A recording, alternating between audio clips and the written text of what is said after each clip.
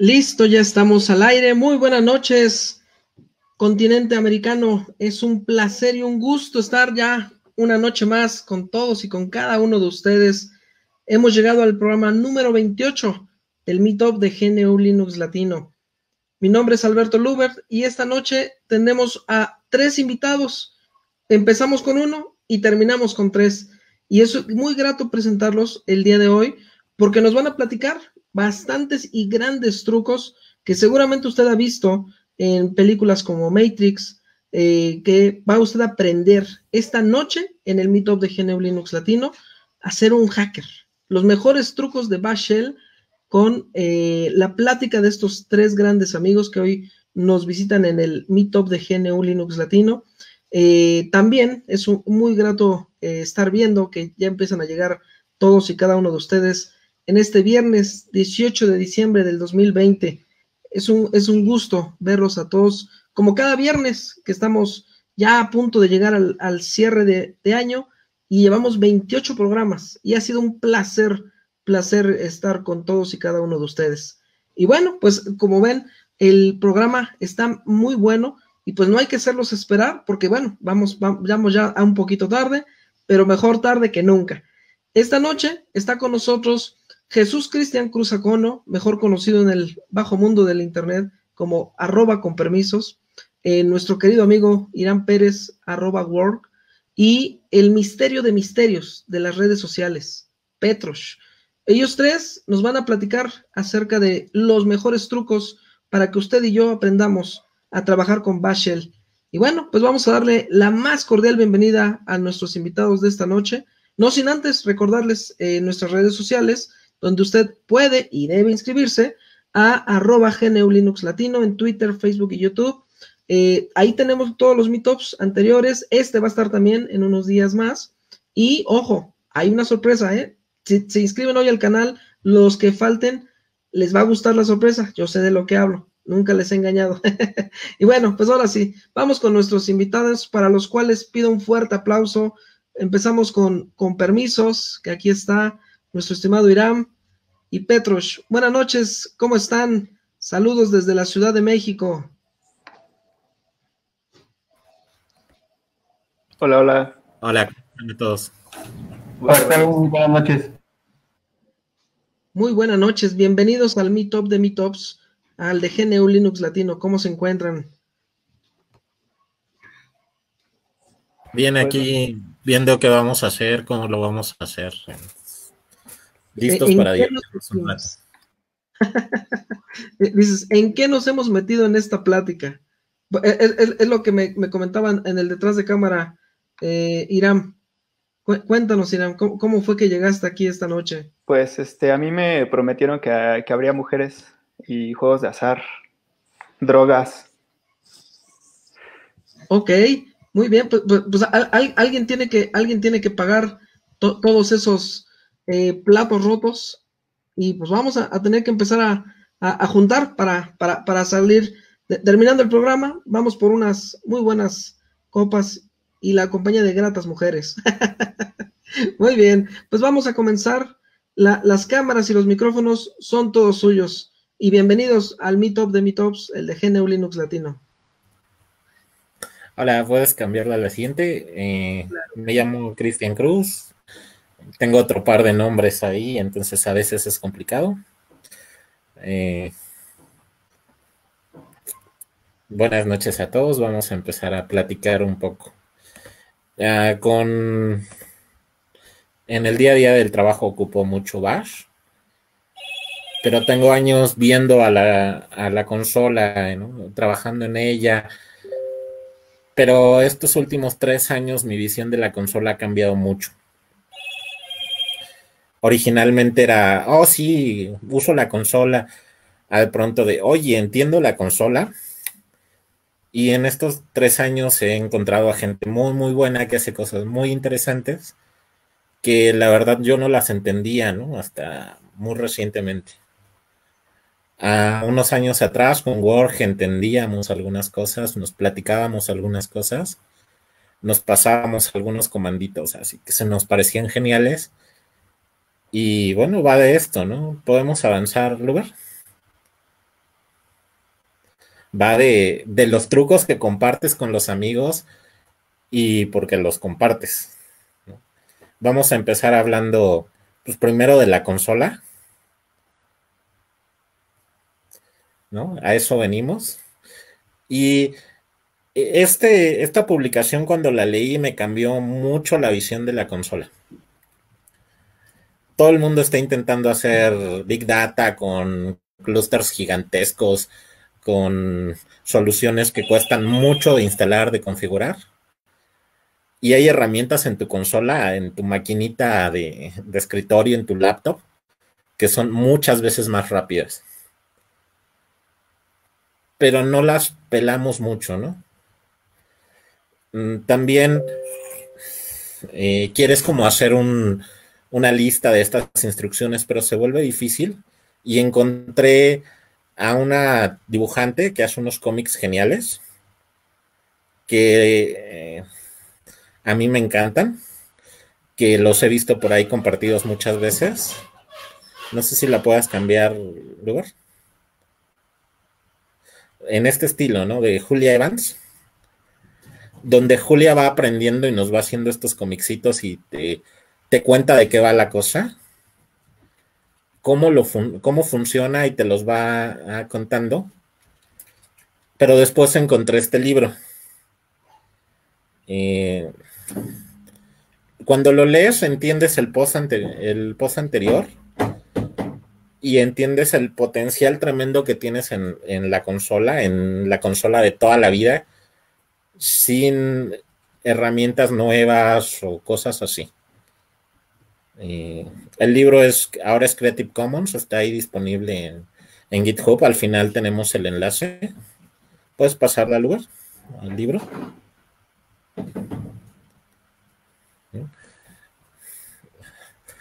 Todo el mundo está haciendo ciencia de datos en R, en Python, en interfaces intermedias pero ya tienes el software instalado, no necesitas nada más, ya está en tu consola.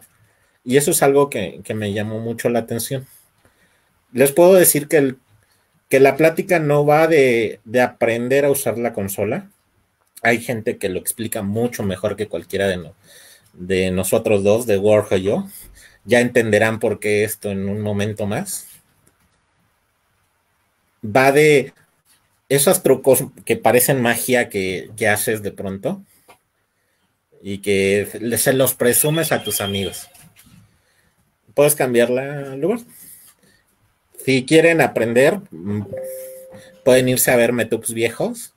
El de Josech me parece una introducción muy buena a consola. En Cloud Devil tienes una introducción muy, muy buena. Pero terminando de hablar de esto, no nada más soy yo, ¿no? y no nada más es la consola, es la consola y mis amigos.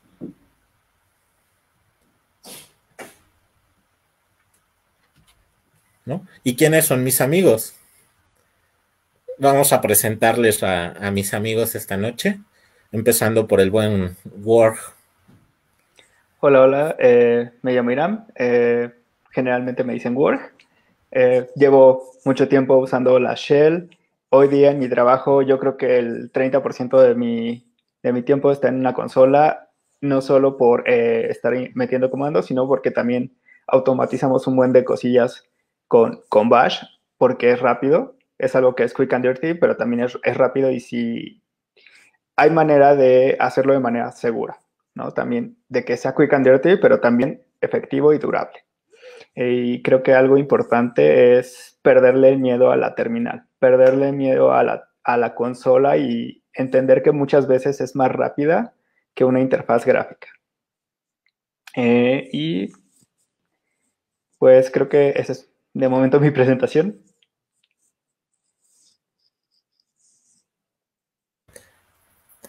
Eh, Petrosh es muy interesante, es un bot escrito en, Bash, Que, que, enseña Bash ¿Qué tal? Muy buenas noches. Soy Petras. y soy un, activista de, Linux y bashero. A veces ranchero, a veces wikipedista. Y comentaban hace rato de, de qué mostramos. Eh, precisamente hace poco iniciamos un taller de introducción al uso de Bash y al uso de scripting en el rancho virtual, porque con esto de la pandemia ya no estamos eh, físicamente presentes, pero quien quiera conectarse, en enero regresamos a este taller con toda la introducción de comandos básicos y de ahí nos arrancamos a automatizar. Como bien dijo Juan, lo interesante, lo bonito es que la máquina haga las cosas por ti y tú puedas tuitear con tus amigos.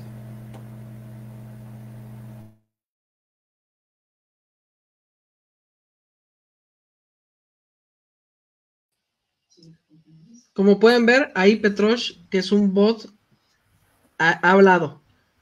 Y hoy está aquí con nosotros en el Meetup de GNU Linux Latino. adelante, Cristian, pueden continuar. Sí. La, idea es, tenemos una máquina que nos prestó José de Cloud Devil. es una máquina sin root. No sé qué, versión de Linux tiene instalada. Esto es muy relevante porque hay pequeñas diferencias en, ejecución y parte de la idea era que tengas la versión de Linux que tengas o incluso tengas Linux sobre Windows. En teoría todo lo que hagamos tiene que, poderte funcionar. Eh, yo tengo ahí unas notas de una presentación de AUK que, que di hace un par de años, en la cual estuvo Petrosh eh, vamos a empezar a jugar con ella. Y la idea es que vayamos empezando a construir comanditos y vayamos pasándonos a avanzar con ellos. Eh,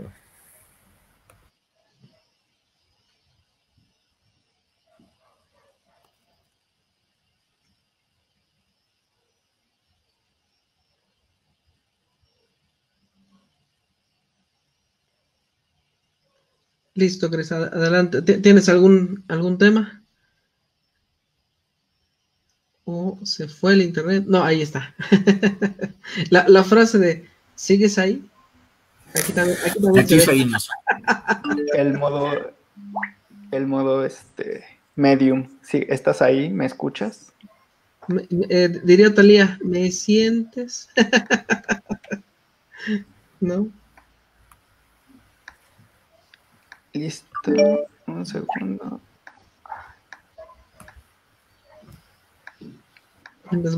Vamos a los primeros saludos de los que ya están aquí viendo el, programa esta noche. Ahí están.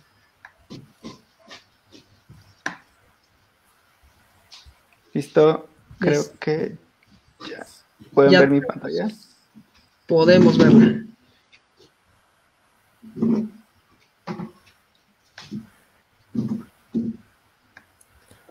Lo, único que nos van a pedir, si podemos hacer un poquito más grande la letra. Ok. Oh, estoy cambiando el zoom de otro lado. Un segundo. Adelante. Ah, para que vean que no está, no es un programa pregrabado, al contrario, estamos en vivo y en directo. Y estamos a punto de ver magia en la shell. Listo. Ahí está, ya creo que ya, ahí si nos pueden confirmar, creo que ya se ve un poquito mejor. Vamos a ponerlo en pantalla completa para que todos nos vean. Ahí sí nos pueden confirmar, que todos lo pueden ver. Estaría perfecto. Pero creo que ya, ahí, si se puede un poquito más grande, estaría genial, estimado Irán. Ahí está. Ándale, ahí, ahí está perfecto, eso le va a ayudar a todos. Perfecto.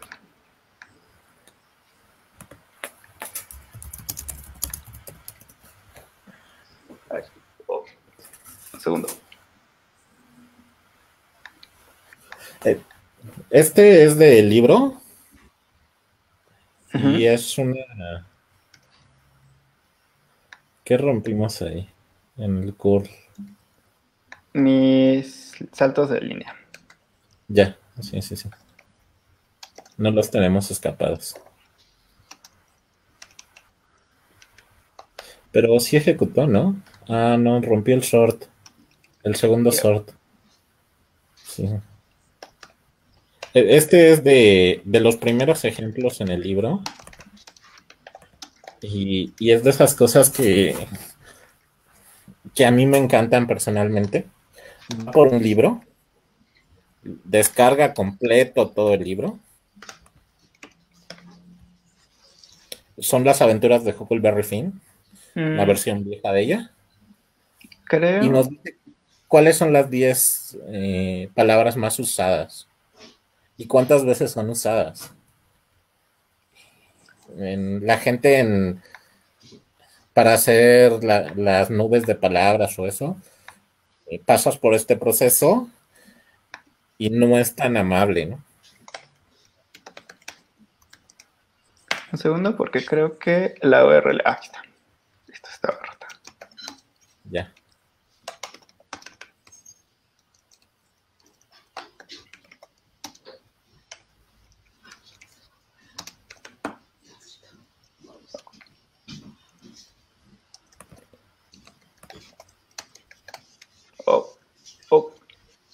Sorry.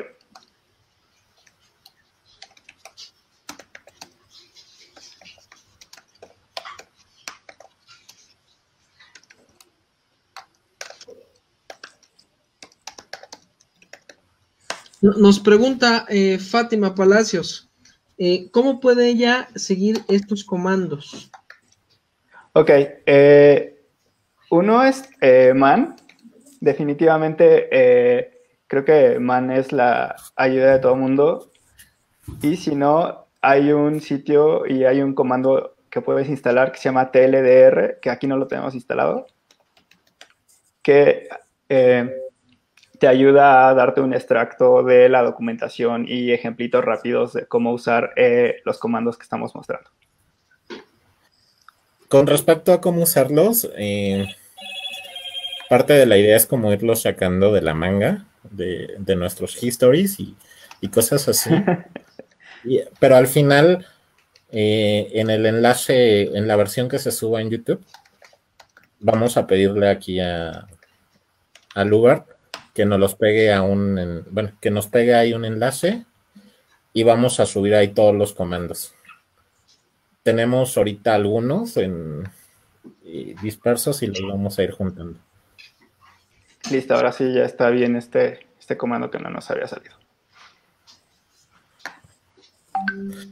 Creo que la, parte que más divertida en, el día a día en la chamba es precisamente esta, ¿no? De, juntar los comanditos y, ah, no funciona, no funciona y terminar con algo más largo. Ir hacia atrás en la historia. ¿No? Eh, sí, es un truco eh, y algo importante que es, siempre consulten su historia, siempre recuerden sus, comandos. La flecha, arriba y control R son sus amigos. Control R les permite buscar en, su historia, por ejemplo, tengo sort. Sé que en algún punto, en algún punto ordené mi, salida, entonces pueden ir y a partir de aquí, digamos, editar su comando sin que vuelvan a escribir todo. Ah, ¿Tenías más algún otro ejemplo, Comper? Por sí, eh, pero perdí el... Aquí está. Dame un segundo. Digo, el, más clásico que es hacer un, un grep sobre los no sé, sobre tus procesos. Oh. Si quieres más detalle.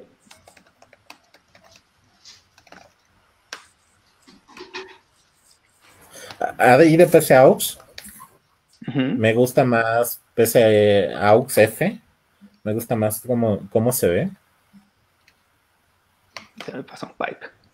Sin, bueno, sin los grab, ¿cómo lo? Porque los ordena en forma de arbolito y sabes quién mandó a traer a quién.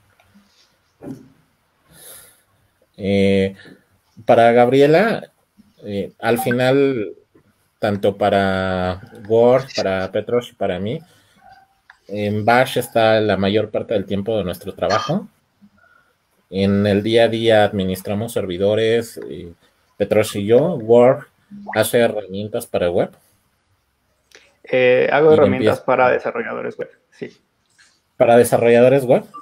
Entonces, él hace, hace tramos en Bash. Eh, contestándole a Pixelado. Estamos jugando un poco, estamos empezando a jugar con, la consola. Si tienes alguna idea de algo que quieran que juguemos, vamos por ahí. Eh, por ejemplo, eh, lo que yo hago, parte de mi día a día es hacer test de integración. Y, por ejemplo, tengo un CLI que está escrito en Go y los test de integración es justamente probar el comportamiento de mi CLI en una shell. Entonces, eh, escribo una serie de scripts en Bash para probar cómo se comporta mi, mi CLI. Este, creo que alguien eh, sobreprometió. Algo igual que me gusta. E-, esa parte nos va a tener que ayudar el señor eh, Sí, él, habla más con las máquinas. E-, e-, esos son este, eran en mis, tiempos viejos. ahora soy solo un simple conductor de mito. por ejemplo, si quiero hacer un backup de rápido de un de un em, de uno de mis scripts, digamos.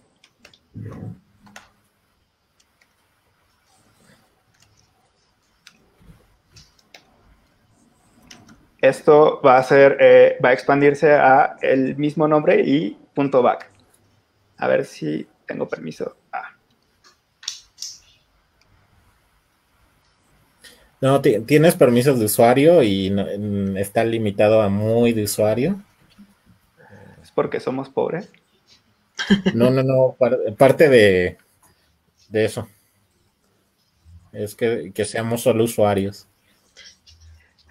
Para poner en contexto a, a, nuestros televidentes, es estamos hoy en una terminal con algunos permisos, muy pocos. Y lo ideal es ir resolviendo las tareas o, algunos ejemplos que eh, Irán y Cristian nos irán compartiendo para poder ir haciendo nuestras actividades o nuestras tareas diarias mucho más sencillas. ¿O, acaso me he equivocado? Digamos Esas expansiones son muy divertidas. Sí. Dale. Dale, dale tú. Por ejemplo, aquí voy a crear tres, archivos serializados en un solo comando. ¿No? Que eso me permite, digo, ahorita es muy básico y estamos creando tres archivos X. Pero, por ejemplo, si tuviera una lista de fotografías que están numeradas, eso me permite hacer referencia a todo mi, catálogo de, de archivos, ¿no? O, por ejemplo, puedo iterar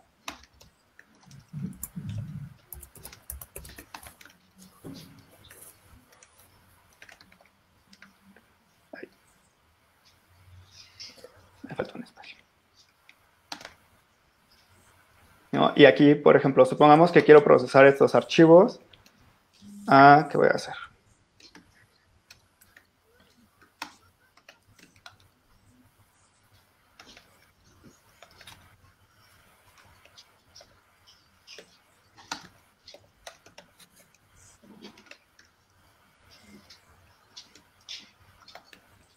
Eh, si ustedes usan Image Magic o algún eh, programa para convertir eh, imágenes,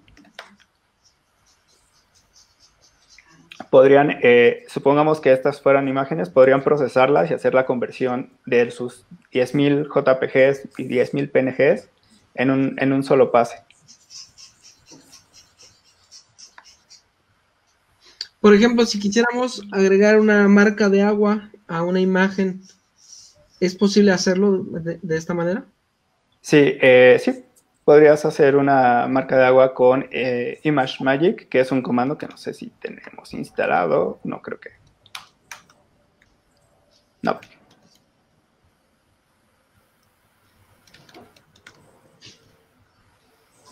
Somos pobres. Sí, no, aparte no tenemos como para hacer blood. Podemos bajar lo que quieras con WGET o algo así. Lo, eh, las expansiones, eh, esas puedes hacerlas anidadas. Te pasé una línea, Irán. Vale, vale. Ok. Voy.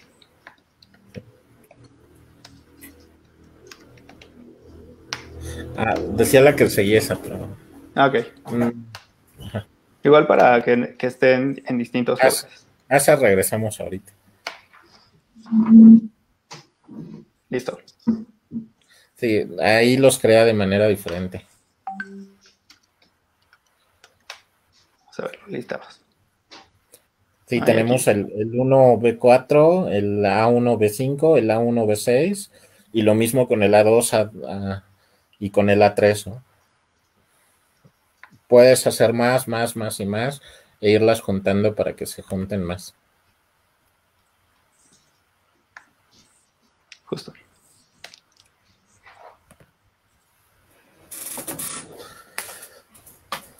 Entonces, eh, empiezas a tener ahí, eh, digo, a, mí esto es lo que me emociona y empezar a, construir los scripts y empezar a ir a, otros problemas. Eh, las rutas que te pasé son, consideran la carpeta completa. Ok. Hazle un CD. Eh, para Marlene, eh, hay un comando que se llama chmode, que es para cambiar los permisos o eh, cambiar, si cambias el owner y los permisos, puedes restringir archivos a ciertos usuarios.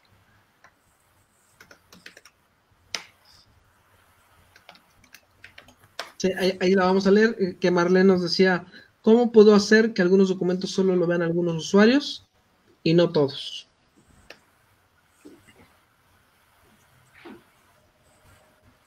Eh, me estaba diciendo Cristian por acá? Sí, eh, como administrador, a veces tienes que sacar data de, de, algunos archivos. Es un archivo que alguien va chillar. Es un archivo como de 600 megas de, un incidente de, estas personas. 600 megas de, de accesos a una página web. Miles y miles de accesos. Y vamos por cómo sacas información de ahí, ¿no? Si, si, los intentáramos mostrar en la pantalla, serían horas y horas de, verlo y no veríamos nada, ¿no? Eh, puedes hacerle un more ahorita que cargue y, y es mucha información siquiera para intentar verla. ¿Cómo empiezas a sacar información que vale la pena de eso? ¿Cómo empiezas a ver información? Ajá, empiezas a hacer scrapping, pero hablamos de, de volúmenes de, miles de cosas y hacia dónde terminas. hay que empezar a filtrar. Sigue bajando. Sí, es que soy pobre también. son 600 megas, aún con buena conexión. 1.2 gigas, aún con buena conexión y es, estoy casi seguro que es un disco rígido, entonces no podemos bajar a más de 6 megas por segundo, aunque estemos más.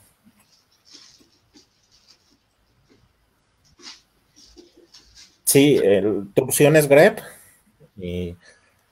o hay, hay, más opciones, ¿no? Cuando empiezas a conocer las estructuras. El tema de Python eh, hoy en día en casi todas las distribuciones de Linux vas a encontrar un Python funcional. El tema es que tengas las librerías que estén actualizadas. Si tienes, por ejemplo, un CentOS viejo, un CentOS 6 en producción hasta hace 15 días era algo muy razonable. Incluso hoy hay muchos CentOS 6 en producción, donde todo está con un Python 2 viejo, que ya no vas a encontrar librerías o instalar Python de pronto se sale del presupuesto de, tu máquina y ya lo tienes en Bash, ¿no? Ya tienes todas las herramientas en, en tu instalación en Bash. Seguimos bajando, ¿eh? ¿Qué porcentaje va? No, no lo alcanzo a ver. 35%. Somos, somos bastante pobres con permiso. Son, son 1.2 gigas. Tiene, tiene mejor conexión que yo, ¿eh? Yo estoy bajando a 300 kilos por segundo.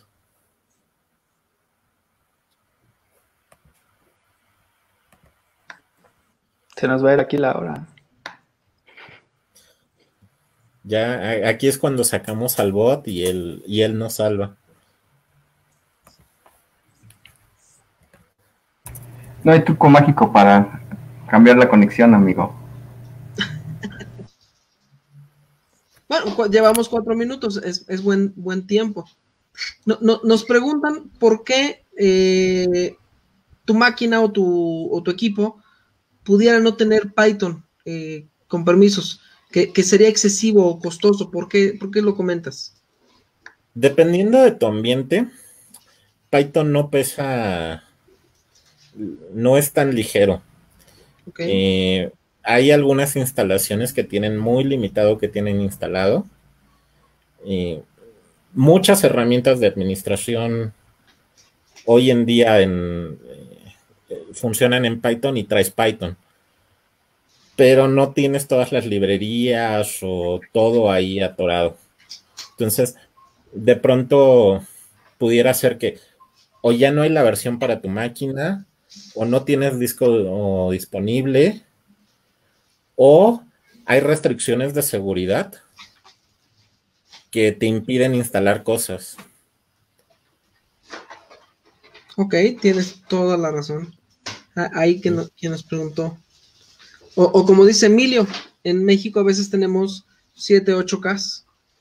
sobre todo ahorita en, épocas de, que todo el mundo está conectado a la red y, tú estás trabajando, ¿qué, pasa, no? Cuando tenemos internet algo lento. Este, este es un log eh, que te dice qué IP, a qué horas, qué intentaron acceder, cómo contestó el servidor y más información del usuario en general. Eh, puedes ver 1.2 gigas de información ahí seguida puedes aventar el AUC, debería de, de poderlo leer, ¿no?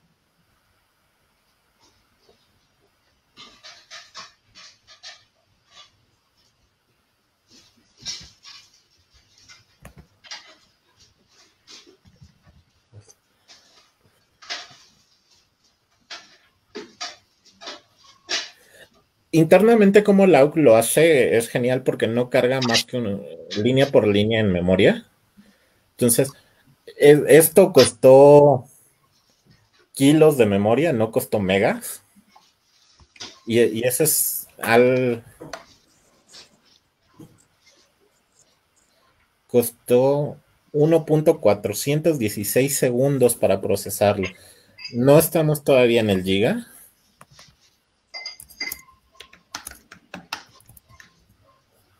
Eh, tengo, tengo la consola en otro lado. nos preguntan qué, es lo que realmente, o sea, qué es lo que estamos analizando en este log. Es un log que tenemos dentro de nuestro server. ¿Y cuál es la tarea o, lo que estamos resolviendo? Queremos sacar información de él. Ya, ya terminó de bajar. Queremos saber quiénes son quienes más acceden, ¿no? Por ejemplo, cuál es la página que más da errores. Eh, ¿Qué está pasando con el servidor? Eh, supongamos que hoy está lento el servidor. Y por algunas opciones son simplemente inviables. Excel es muy fácil para ver pequeños volúmenes de información, pequeños hasta 65 mil líneas pero a partir de eso no tienes opciones en, de ese lado, ¿no?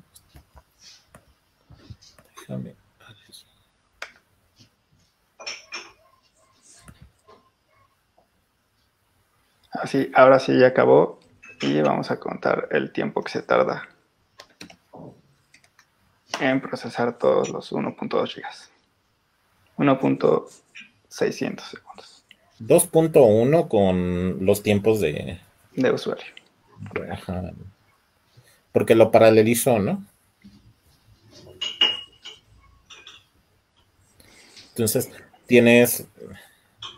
Esta IP hizo 797 mil accesos. son, son una cantidad de accesos así muy, muy grandes. Dame un segundo. Pero queremos saber, por ejemplo, cuánta, qué porcentaje de estos son 404, por ejemplo. 404. Primero vamos a ver cuántos tienen un 200. Este, este es muy burdo.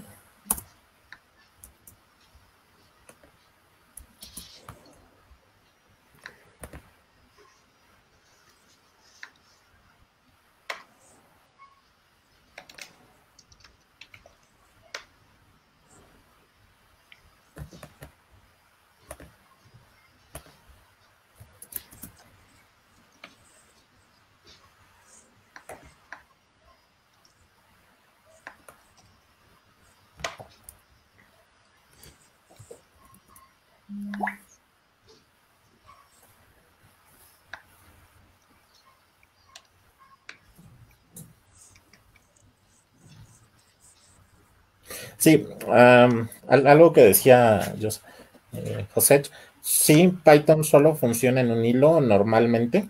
Ah, puedes hacer magia y jalar múltiples hilos. En general, también muchas cosas aquí van también en un solo hilo. Mm. ¿Qué rompimos ahí, ah,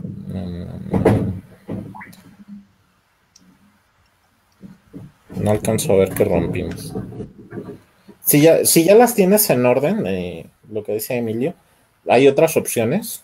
¿no? De hecho, el, descubrí que sort es terriblemente malo.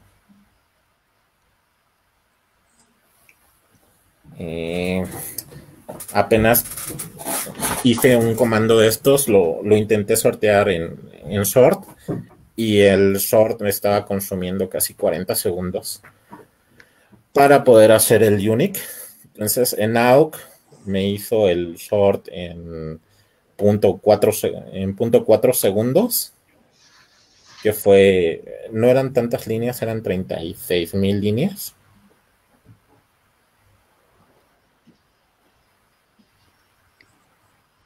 Creo que está tomando el asterisco como expresión regular. Ah, puede ser. Eh, creo que lo podríamos escapar.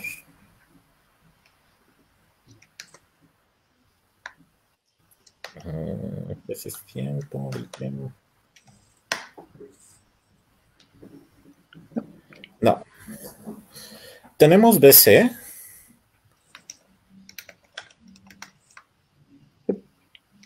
Sí, tenemos BC.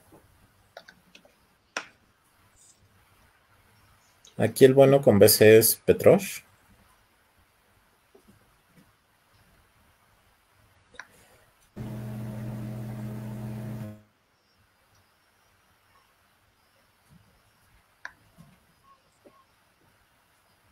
En, lo que Petrosh nos contesta, nos preguntan, eh, Bash, ¿bajo cuántos hilos corre?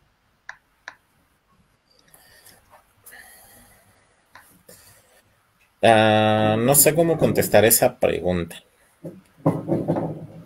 Puedes hacer que corra en tantos hilos como quieras o hacer que corra en uno solo.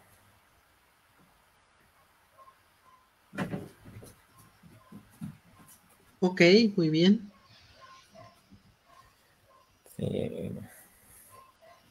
Algo que termino haciendo mucho en el trabajo es algo así como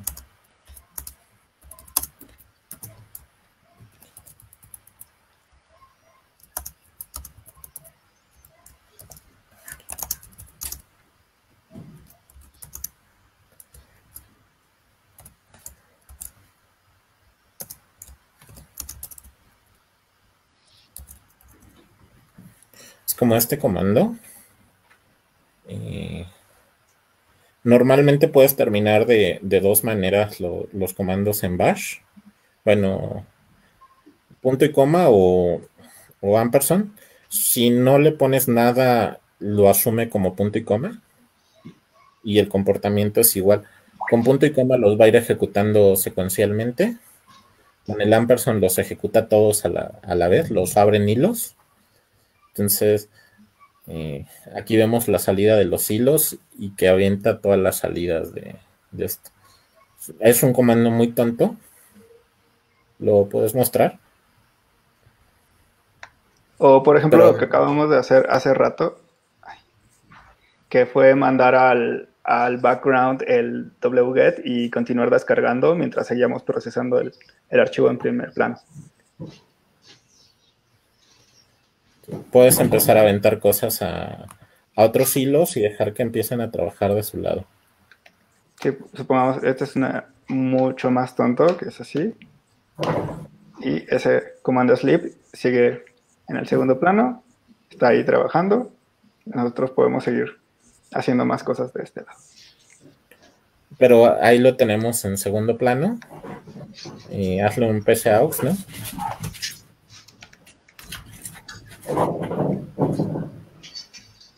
Ahí está el sleep. No lo veo.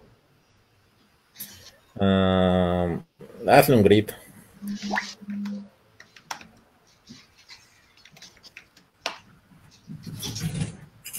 Mm, ya. Es el. Ya, ahí está.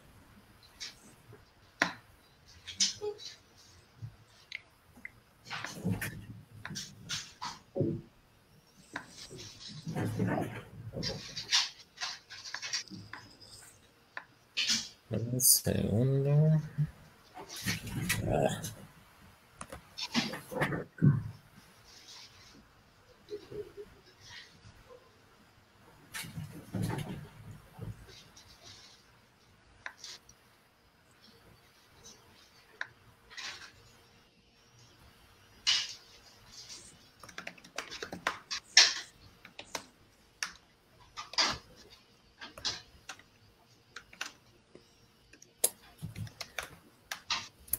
Nos este. pregunta eh, Gabriela Figueroa, ¿para qué sirve pgrep? Es grip, pero para procesos.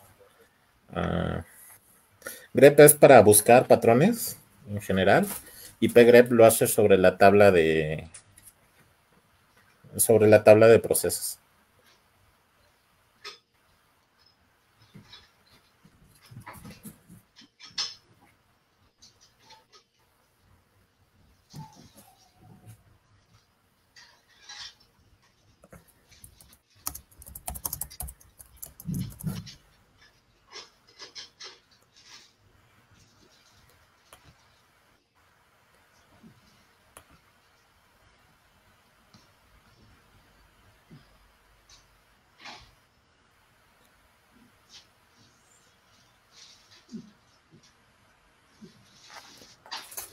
Es esta tarde, ¿no?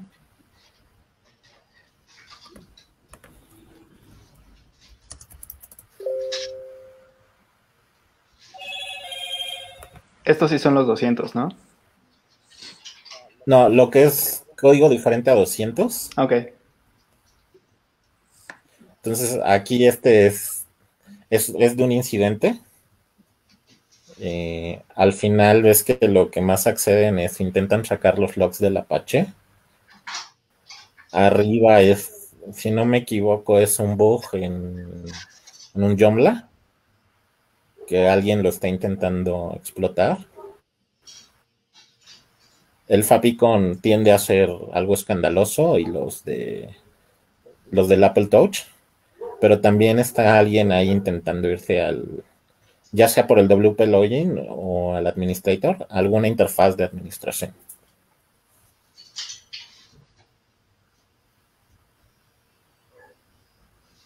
Nos pregunta Leafare Okuya. Eh, nos dice, tengo Python 2.7 y Python 3. Quiero llamar por un alias al último de ellos como P3. ¿Cómo lo puedo hacer? P3 programa PI. Eso es lo que no sé. Eh, con un alias, eh, puedes declarar un alias en, ya sea que lo pongas en, en, ejecución.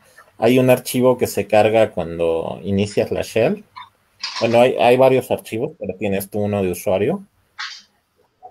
Bash RC. Y puedes cambiarlo ahí. Ok, muy bien. Ah, ahí, ahí, tenemos la respuesta. Eh, nos, nos, pregunta nuevamente Gab Gabriela Figueroa. Eh, ¿Es mejor usar grep o pgrep? Son para dos cosas distintas. grep es para buscar eh, patrones en archivos o en, eh, bueno, en tu stdin eh, y pgrep es para buscar patrones en tu lista de procesos, que son dos cosas diferentes. En general, pgrep es como una versión más especializada de grep. Eh, pgrep busca en, en, una fuente fija de datos, mientras que grep busca de donde le digas que busque.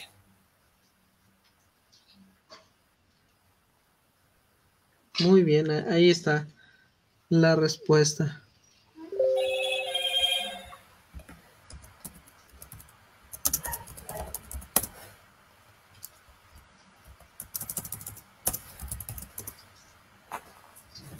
También pgrep eh, tiene ya algo de que solo te regresa el, el número de, de proceso.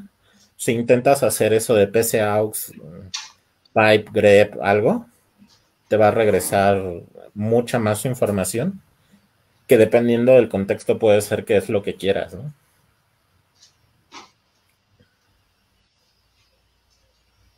Fíjate, está bien alto ese número de proceso. Así estamos de castigados, ¿verdad?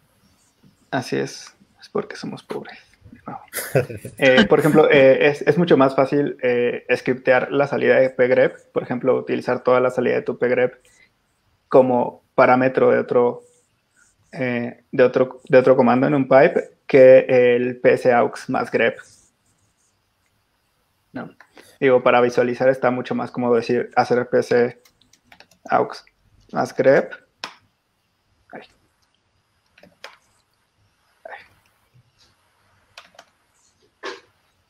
para ti porque tienes mucho más visuales, pero si quieres utilizar solo los program ID, pgrep es mucho más cómodo.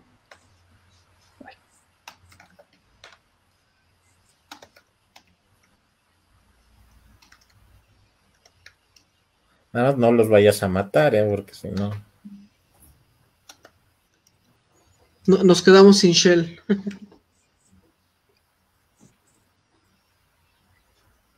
Ah, lanza mil slips o, o diez slips. Sigue, eh, seguimos teniendo el slip de hace rato. Ajá.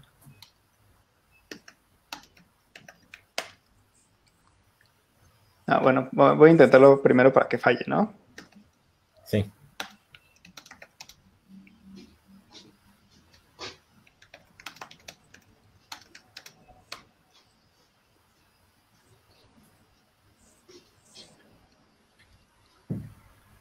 Pero bueno, en todo caso, incluso eh, es más fácil hacer pkill que pgrep más. Y esto ya mataría.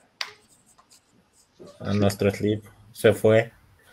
Ya, ya no puede seguir durmiendo.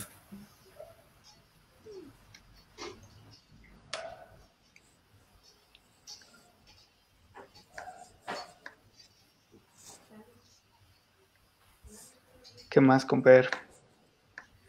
¿No, ¿No tenemos ese que me enseñaste de colorcitos? ¿Cuál de colores? Este que... El CAD modificado. No, no lo traigo. Sí, ¿No te acuerdas cómo se llama? Es BAT seguramente, pero de hecho, creo que es un Go. Sí, es un, es un Go que se llama BAT.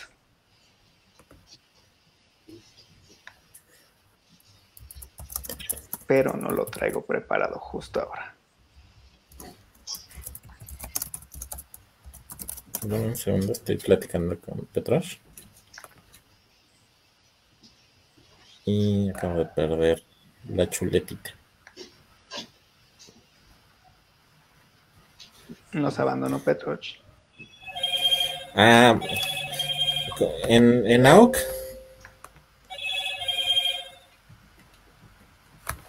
Esto lo asiste hace un rato. También tienes cosas que. En, en la shell tienes cosas que se expanden. Y. Tomas la salida de algo, se lo pasas al siguiente, va ejecutando. Ah, le tiras el LS. Eh,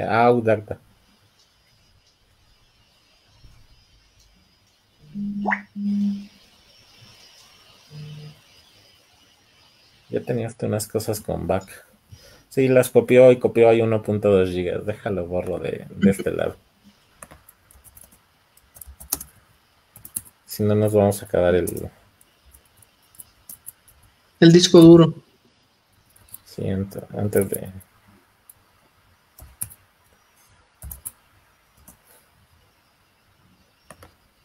Nos preguntan, eh, ¿cómo podemos saber qué versión de sistema operativo es la que está corriendo esta máquina virtual? Um, dependiendo. Eh,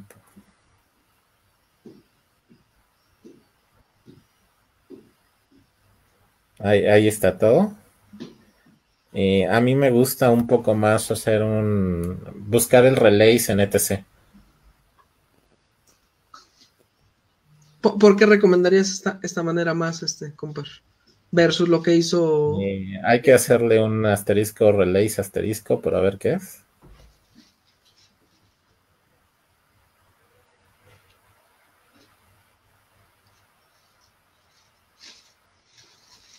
porque eh, traes un poco más de, detalle del lado del desarrollador.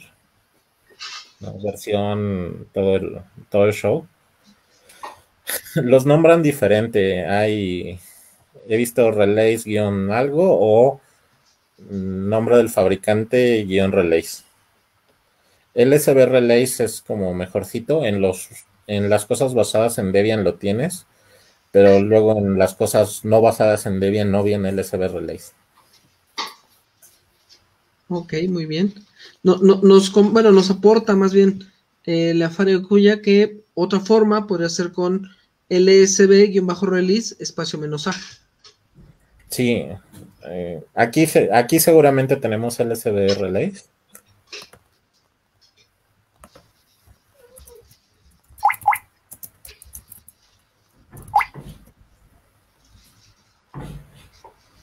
Ahí está. Entonces, estamos usando una máquina con Ubuntu 20.04 LTS. Sí. La, los scripts que no han corrido venían de un 107. ok. pero ya los habíamos corrido en otra ocasión en un Ubuntu. Pues no sé qué tengan hoy, ya habría que revisarlos más a manita. Ok, muy bien. Por cierto, Adelante, adelante, este, te interrumpí. No, no, disculpa.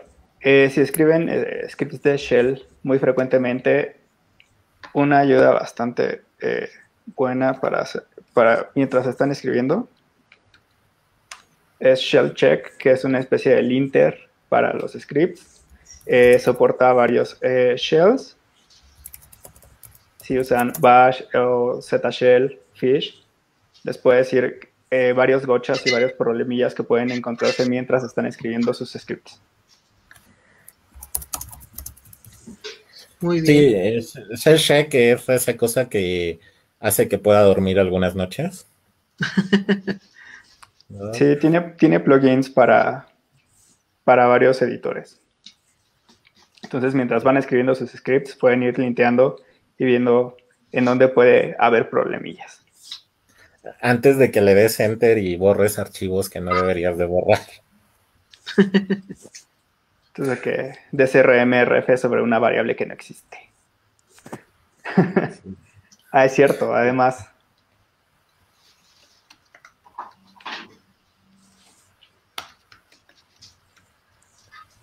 Cuando hagan scripts, siempre marquen sus errores como eh, fatales, sus pipes como fatales y fallan, sus variables que no están, eh, que no están definidas, que es la U, que les hagan fallar su script para que no borren archivos, no borren todo el home de un usuario porque una variable no estaba definida. O que lo sobrescriban, ¿no? Por ejemplo. Ándale, eso es peor. Eh, Borrado puedes intentar recuperar, pero cuando sobrescribes ya, ya fue. Se, llamaba, se llamaba Marta, ¿no? sí, sí, sí, es preferible borrar que sobreescribir, definitivamente. Eh, ¿Qué shell recomendamos? Eh, depende para lo que vayas a hacer. Si vas a hacer scripts que van a correr en otra máquina, eh, lo más recomendable es o Bash, que es lo que todo el mundo tiene, o incluso irte más y hacer solo POSIX. Apegarte solo a POSIX y no uses bashismos eh, ni te vayas a querer ver fancy usando ZShell. Para tu terminal en tu computadora puedes utilizar Fish, ZShell, lo que más te acomode y lo que, con lo que te sientas cómodo. Eh, creo que tu entorno de desarrollo o tu entorno personal no necesariamente tiene que reflejar el entorno en el que haces tus scripts o donde corren tus scripts. Obviamente debes asegurarte que, que funcionen, ¿no? Y que funcionen en el ambiente en el que esperas. Para eso tendrás Docker o, alguna, o algún ambiente para probar tus scripts, pero tu shell personal es diferente a tu shell de, en donde corren tus cosas. Eh, personalmente, yo soy de la idea de que aprendes más cuando es tu shell normal. Y yo uso Bash, pero lo que tengas instalado o lo que tengas. También porque de pronto en servidores no tienes otras cosas que no sean Bash. Y no puedes instalarles nada y llegas con la idea de escribir, ¿no? Recuerdo cuando pasé de usar Windows a Linux, que tuve que hacer un montón de alias de comandos de Windows, porque de memoria los escribía el de Windows y no el de Linux, ¿no? Ya hoy ya no tengo los alias, pero cuando empecé a intentar usar otra shell que no era Bash en mi día a día, me pasaba eso en ambos sentidos. En los servidores no tenía las, cosas que funcionaban igual. Y cuando llegaba aquí buscaba hacer cosas como se hacen en Bash. Sí, no, definitivamente. Eh, yo soy más de ZShell. Eh, ya tengo mis montones de alias, pero sí, justo cuando tengo que debuguear algo en una máquina que no es la mía, sí, si mis aliases me hacen falta de repente. sufres, ¿no? Me imagino.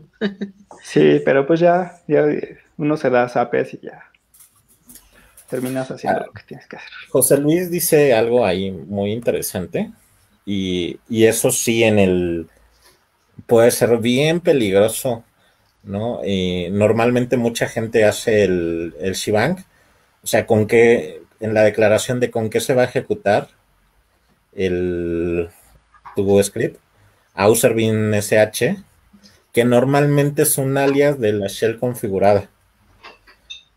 Si es bash, todo va a funcionar bien, pero luego hay algunos locos que ocupan otras shells y tu cosa funciona terriblemente mal y termina siendo un, algo horrible en la, en la consola.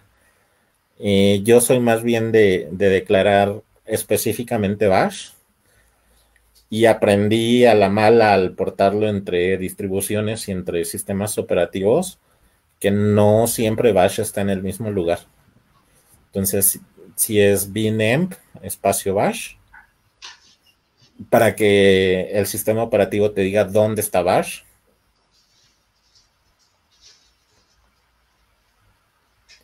Pues, sí, me faltó, siempre me falta el... ¿no? Y que te diga, ¿puedes ejecutarlo sin, sin el comentario?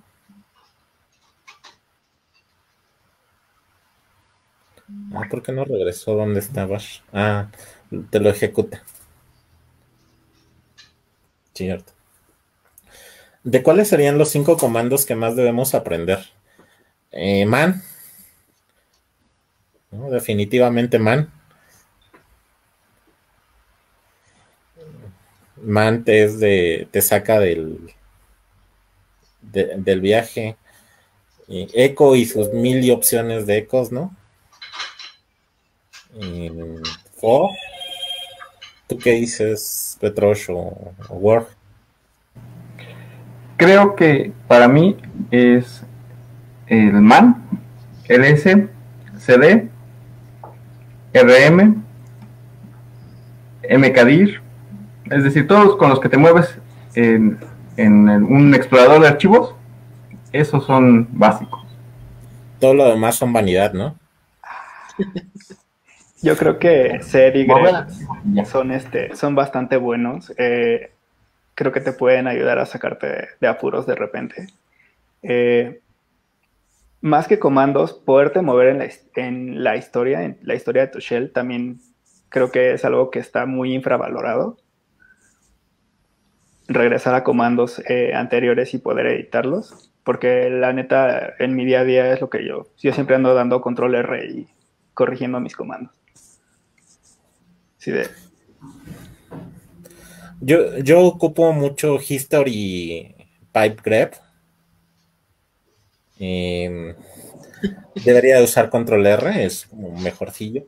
Pero de pronto tengo pequeñas variaciones de, del comando de, y se parecen mucho. Entonces en Control R me confundo más. Con, con el grep puedo ver cuatro o cinco versiones diferentes y decir, ah, esta es la buena. Sí, también eh, creo que no comando nuevamente, pero redirección de salida es muy importante. Aprender cómo redirigir salida, cómo mandar al, cómo mandar al background y cómo regresar del background, ¿no? Por ejemplo, lo que hicimos hace rato, ¿no? De dormir una hora, cómo detenerlo, mandarlo al background ¿no? Y ese comando se sigue ejecutando en el background lo que quiera que esté haciendo. Y si quiero regresar, traerlo. Traerlo de nuevo al foreground y hacerlo interactivo nuevamente. Eh, creo que es parte de lo, algo de lo esencial que En estas escrituras, eh, más que usar los, los signos de, de redireccionar los canales, a mí me gustó mucho y me, hizo la vida mucho más fácil descubrir ti. Eh, ¿Eres fan de ti? Sí, es como más claro qué estás haciendo. Eh, tienes que irte por el pipe. Pero hay algo que, que también fue un gran descubrimiento, fue que cuando haces pipes, las cosas se ejecutan en desorden. Eh, no, te das cuenta, pero cuando haces PC aux type grep, ves el grep en tu salida, ¿no? Puedes intentarlo, un grep al lo que sea, ¿no? De nuevo, eh, no sé. PC aux, pipe grep algo.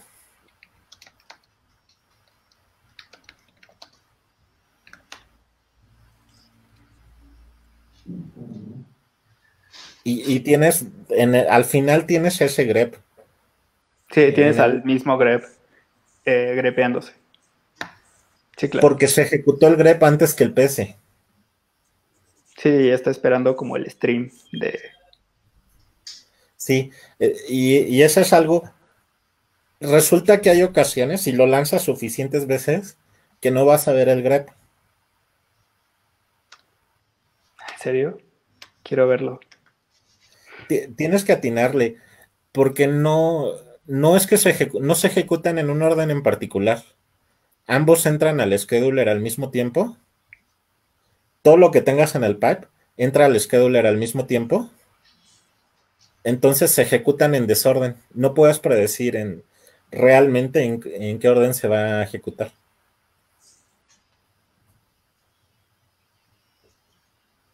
Eh, déjame, tengo por aquí algo de... Te quedo esperando en, realidad el, evento. Hasta que ocurre un evento, está como en, oyendo y, va a seguir. Por eso aparecen después los, en este caso el, el, el grep.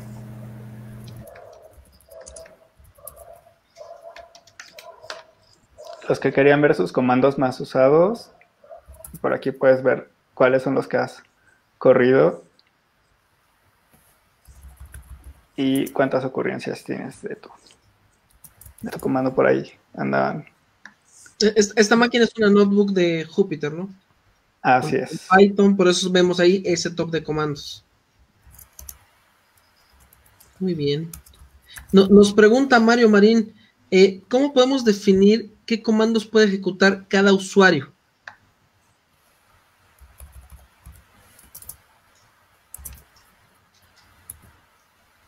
Eh, sí, sí puedes limitarlo.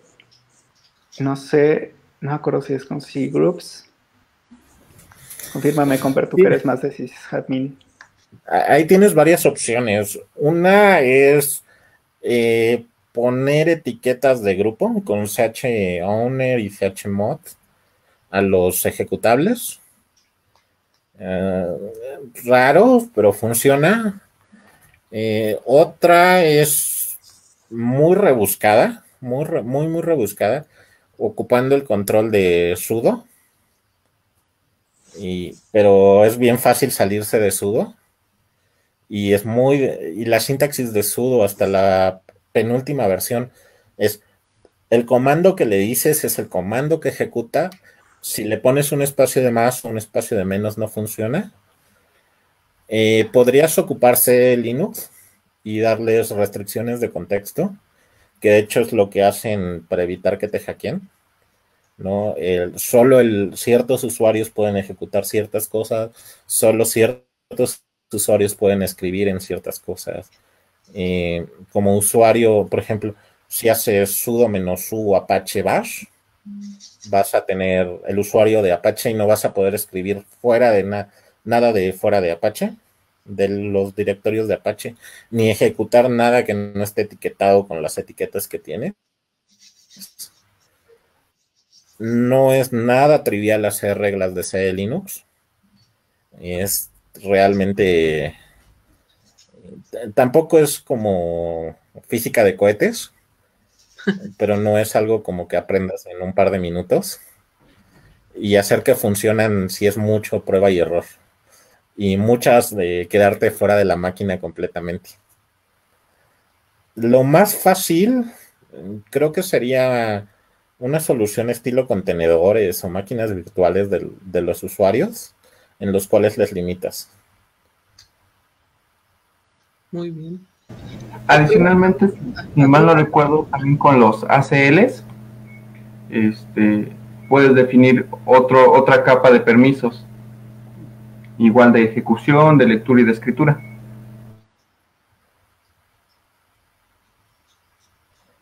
Muy bien. El, tema de, jaulas eh, es que tienes que armar toda la jaula. No puedes leer nada fuera de la jaula. Entonces, tiene que ser como completo. Eh, todo, todo, es todo o nada. Cada, jaula es así. No puedes acceder fuera de eso. Eh, Sandino tenía ahí unas quejas muy grandes de ese tema. Porque aparte terminas instalando versiones dispares en cada jaula y terminas con un montón de librerías repetidas. Al, menos con, eh, con contenedores que podrías encerrar a usuarios en contenedores sin grandes temas, como tienes esto de, los sistemas layereados y reocupas los sistemas de abajo, pues no te acabas el disco duro para, encerrar a los usuarios.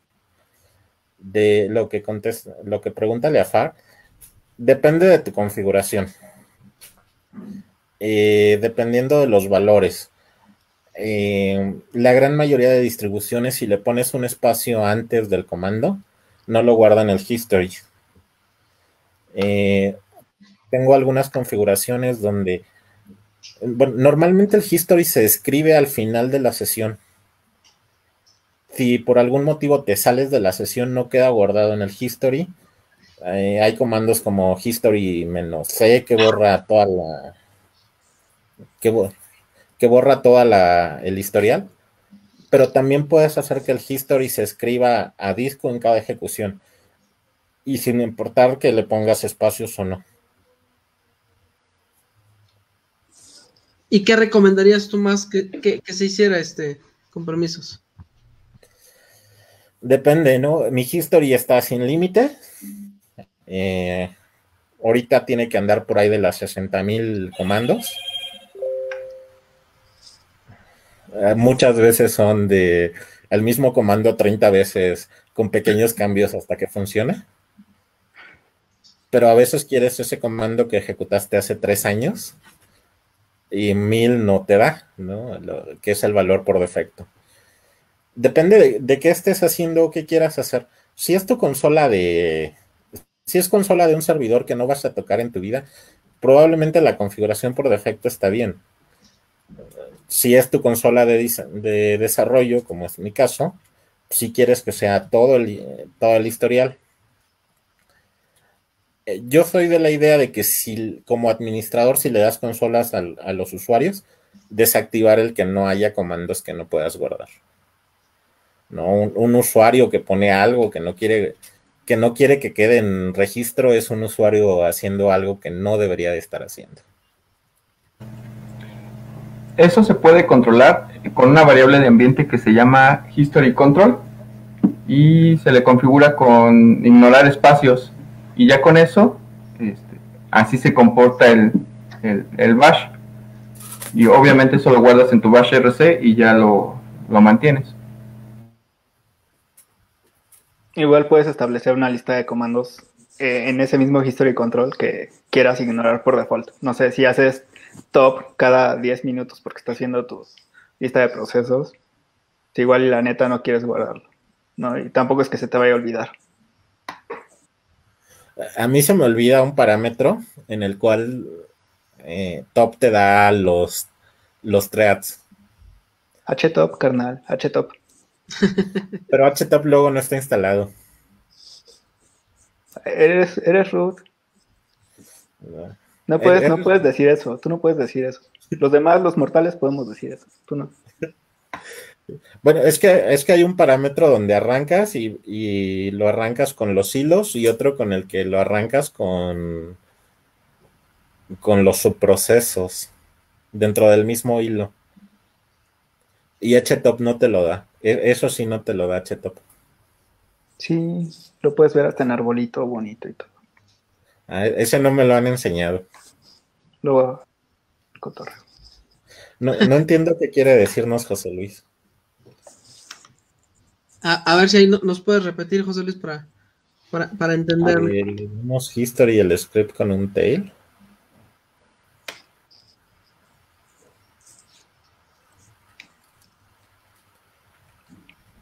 Oye, sí hay RAM, ¿eh? Sí hay RAM y, decían que éramos pobres.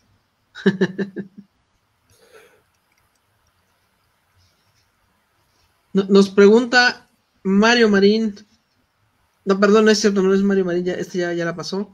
No, nos pregunta Marlene Ortega, eh, ¿qué, consejos le darían a una nueva Linuxera en cuanto a nuevos comandos? Instálate una máquina virtual y rómpela. Eh, ejecuta lo que quieras en esa máquina virtual, eh, copia de donde quieras y donde puedas y no tengas información importante en ella y ejecuta, ve, ve código de otros, ¿no? Y ve las porquerías que hacen otros para que intentes no hacerlas tú.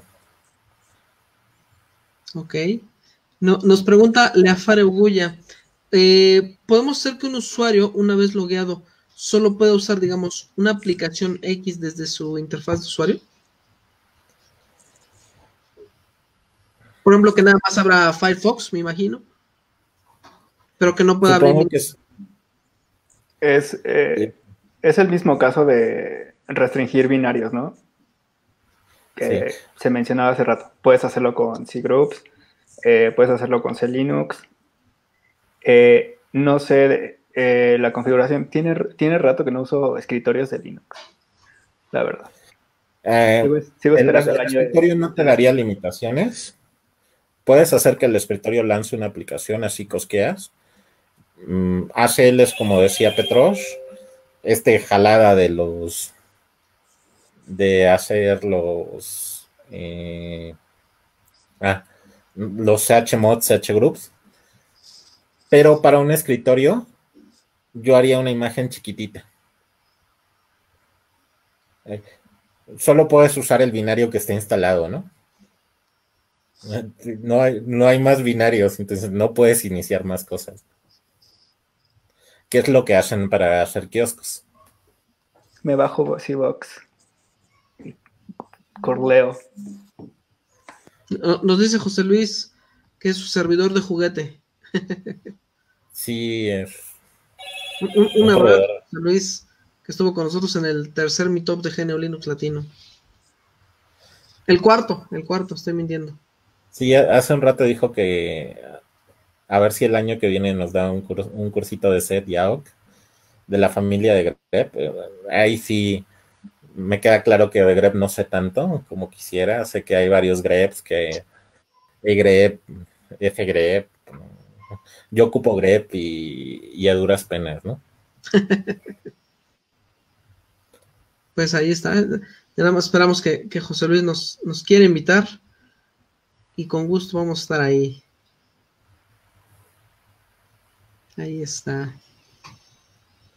ese, que tienes ahí, ese, que tienes ahí, arriba, eh, es eh, el History.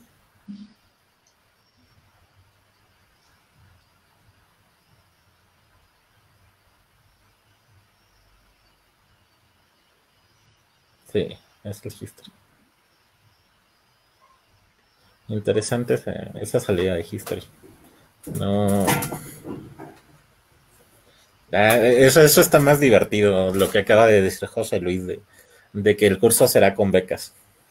Ahí está, hasta, hasta con becas vamos a tener. Ya no, no tenemos ningún pretexto entonces para, para aprender. Y nos dice Diego, Diego Go, salúdenme e invítenme al, al, no sé si al programa o a las becas o a, algo lo vamos a invitar al buen Diego. También un fuerte abrazo. Que, a todo, ¿por qué no? A, a todos, sí, sí, sí. Que, estuvo con nosotros en el Meetup número 17. Dice, ahí anda Petros, ahí está. Es correcto, por acá anda. Aquí está. Unos saludos sonideros para el buen Diego.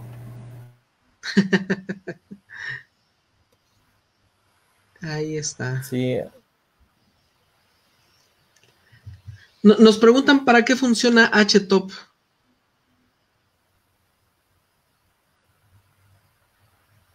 ¿Tú eres el fan, Creo que está en mute. estoy hablando como loco, pero en mute. Eh, puedes ver tu lista de procesos de manera más fancy. Eh, y, por ejemplo, eh, aquí puedes ver el árbol de procesos con sus subprocesos.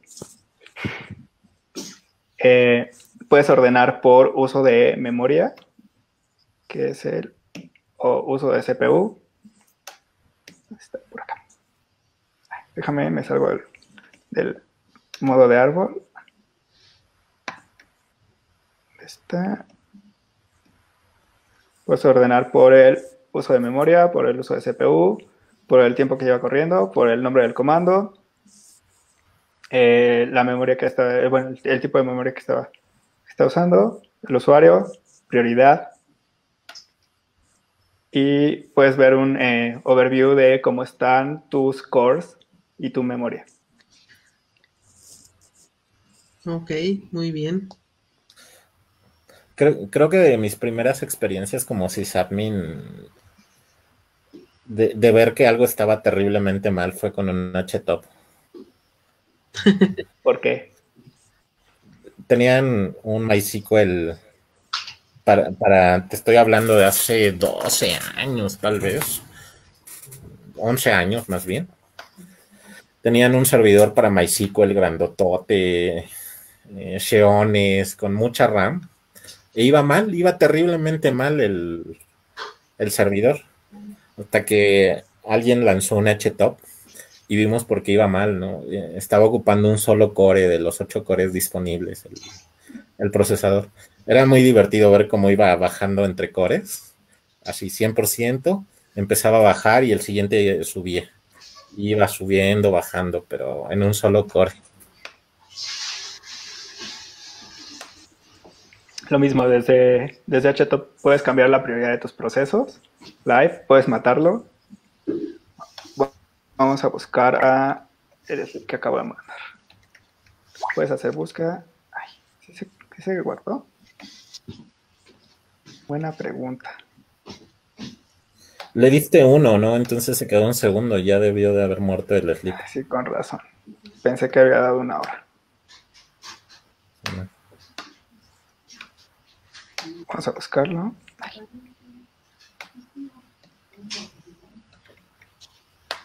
Está el sleep. Y lo matamos.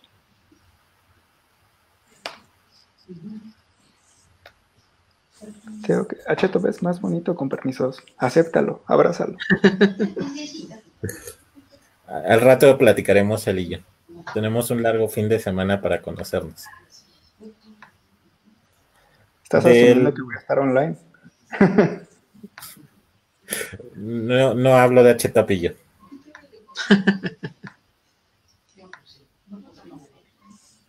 Nos pregunta Gabriela Hernández, ¿con qué comando puedo saber cuánto espacio en disco duro me queda en la máquina y si es posible enviar una alerta por correo electrónico? Lo, más fácil es para ver el espacio es con DF. Eh, soy fan de "-h", pero "-h" no está disponible fuera de, ciertas versiones de Bash Utils. Te da ahí los espacios.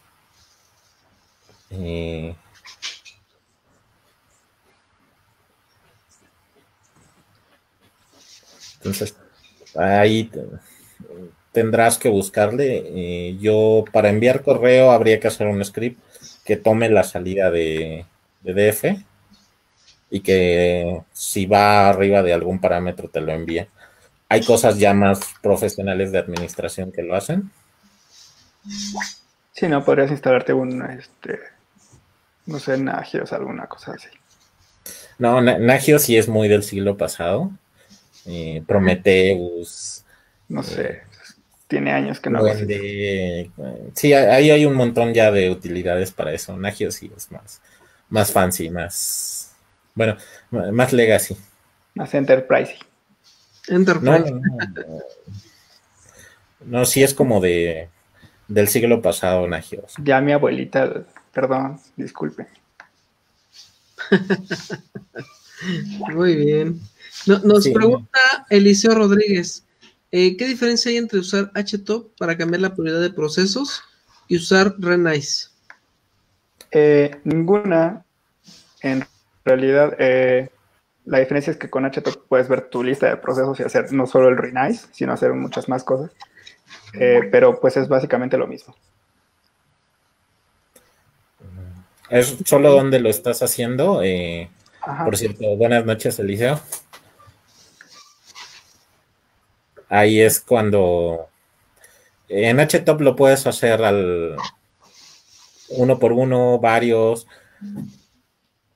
viendo cómo va el, el, el efecto. ¿no? Eh, CKH no nada más te deja mover el, la prioridad de Nice. Hay otras prioridades que tiene ahí el scheduler, que te permite, por ejemplo, decir tiempos de ejecución, cómo acomoda los tiempos de ejecución. En HTOP lo puedes hacer ahí mismo. Entonces eh, tienes como más herramientas ahí juntas mientras los ves ahí juntos. De la que la pregunta que no voy a contestar es la que acaba de hacer Diego. Es, esa es una pregunta que, que si quiero seguir vivo no tengo que contestar. No, ¿cómo? ¿Quién, quién amenaza tu libertad de poder decidir la distribución que que puedes usar, este, Chris. Eh, eh, esa libertad la tengo, la de pronunciarme, he aprendido que es mejor no hacerlo. Ok. bueno, eh, pero también, además de ti, está, está Work. ¿Qué, opinas, Work? ¿Debian o Fedora? Híjole, pues la que prefieran. Creo que qué bonita es la libertad. qué bonito es poder elegir entre la distribución que prefieran, Debian, Fedora, Arc, no sé, Gentoo, la bandita que, tiene más tiempo libre. Petros, ¿qué, opinas? El LFS, ¿no? Lo políticamente correcto es decir que la que mejor te acomode, la que se ajuste a tus necesidades, pero mi corazoncito pues es Debian. Ok. Eh, él sí puede contestar la pregunta. Porque es un bot, ¿no? No, tiene... él es un bot que corre en un Debian, entonces tiene que, tiene que decirlo, ¿no? Supuse que era, eh, eh, corría bajo un servidor Debian y por eso iba a hablar bien de los Debianitas. Cristian, no, no quieres decir. como dices, e-, eres dueño de cada, tu cada quien, cada quien instale lo que le acomode. Hay cosas ahí. Yo, yo hoy en día estoy trabajando sobre CentOS porque es lo que me acomoda para, para mi trabajo, que es lo que me evita que que pase eso de los scripts que corren o no corren. Pero fuera de eso, eh, no soy muy fan de, cómo se llevaba CentOS ya hace años. Hay, hay, gente a la que le gustaba mucho eso y tienen toda la razón del mundo para hacerlo. Pero ya no va a existir CentOS, chavo. Claro que sí. bueno, ¿qué, va a pasar con CentOS? Ahí nos preguntaron hace, hace ratito al inicio del programa y por ahí hemos leído que CentOS ya no existe. ¿Qué, nos pueden contar al respecto, este, eh, Chris, Gorgi, Petros? Ahí José tuvo hace como cuatro o cinco meses una queja muy agria de CentOS. Y te puedo decir que, tiene toda la razón. Las versiones de, de los CentOS son viejísimas tiene una razón muy dura de ser, son estables, son probadas en batalla y más que eso, se hicieron, se hicieron compilaciones que funcionan y van a funcionar durante años. ¿Qué es lo que quieres en, el Enterprise? Pero a cambio tienes un montón de cosas bien, bien viejas que, de pronto es de, oye, ¿y, esto todavía hay documentación? Entonces, lo que hicieron es pasar acentos a algo más moderno, sin ser tan moderno como Fedora pero ya no siendo esta versión vieja, vieja, vieja que, ahora en muchos sentidos es. hablando de CentOS 7, ¿no? CentOS 8 sí trae ahorita cosas modernas. Además ya deja de ser como el, espejo de Red Hat Enterprise Linux, ¿no? Ya es la versión de desarrollo de, eh, La, versión de desarrollo va a seguir siendo Fedora. Eh. Bueno, Fedora es la versión, eh, la versión que puedes romper. ¿no? Y la versión como el, el, estándar para el, estándar como para el escritorio de Genome, ¿no? Fedora es como el Genome, el baseline del escritorio de Genome. Sí, no. De, de, qué va a pasar con CentOS? Va a haber ahí varias opciones. Yo extraño mucho Scientific Linux. Esa, esa distribución sí me dolió que en muchos sentidos era un CentOS más. Ah, ¿Hace cuántos años pasó eso, este? Hace tres o cuatro años que ya no hay Scientific Linux. Era, muy divertido y aparte lo hacía la gente del CERN y el acelerador de partículas corría en esa cosa. Ahora corren CentOS, entonces ya no es tan fancy decir, ah, corren lo mismo que corre el acelerador de partículas. Ok, ¿Qué, crees que va a pasar con todos los, los sysadmin que tienen eh, servidores con CentOS? ¿Qué, cuál sería la recomendación de, ustedes tres para, que mantengan sus sistemas? Sobre todo la respuesta de Petrosh. De, acabar el año, ¿no? de acabar todo.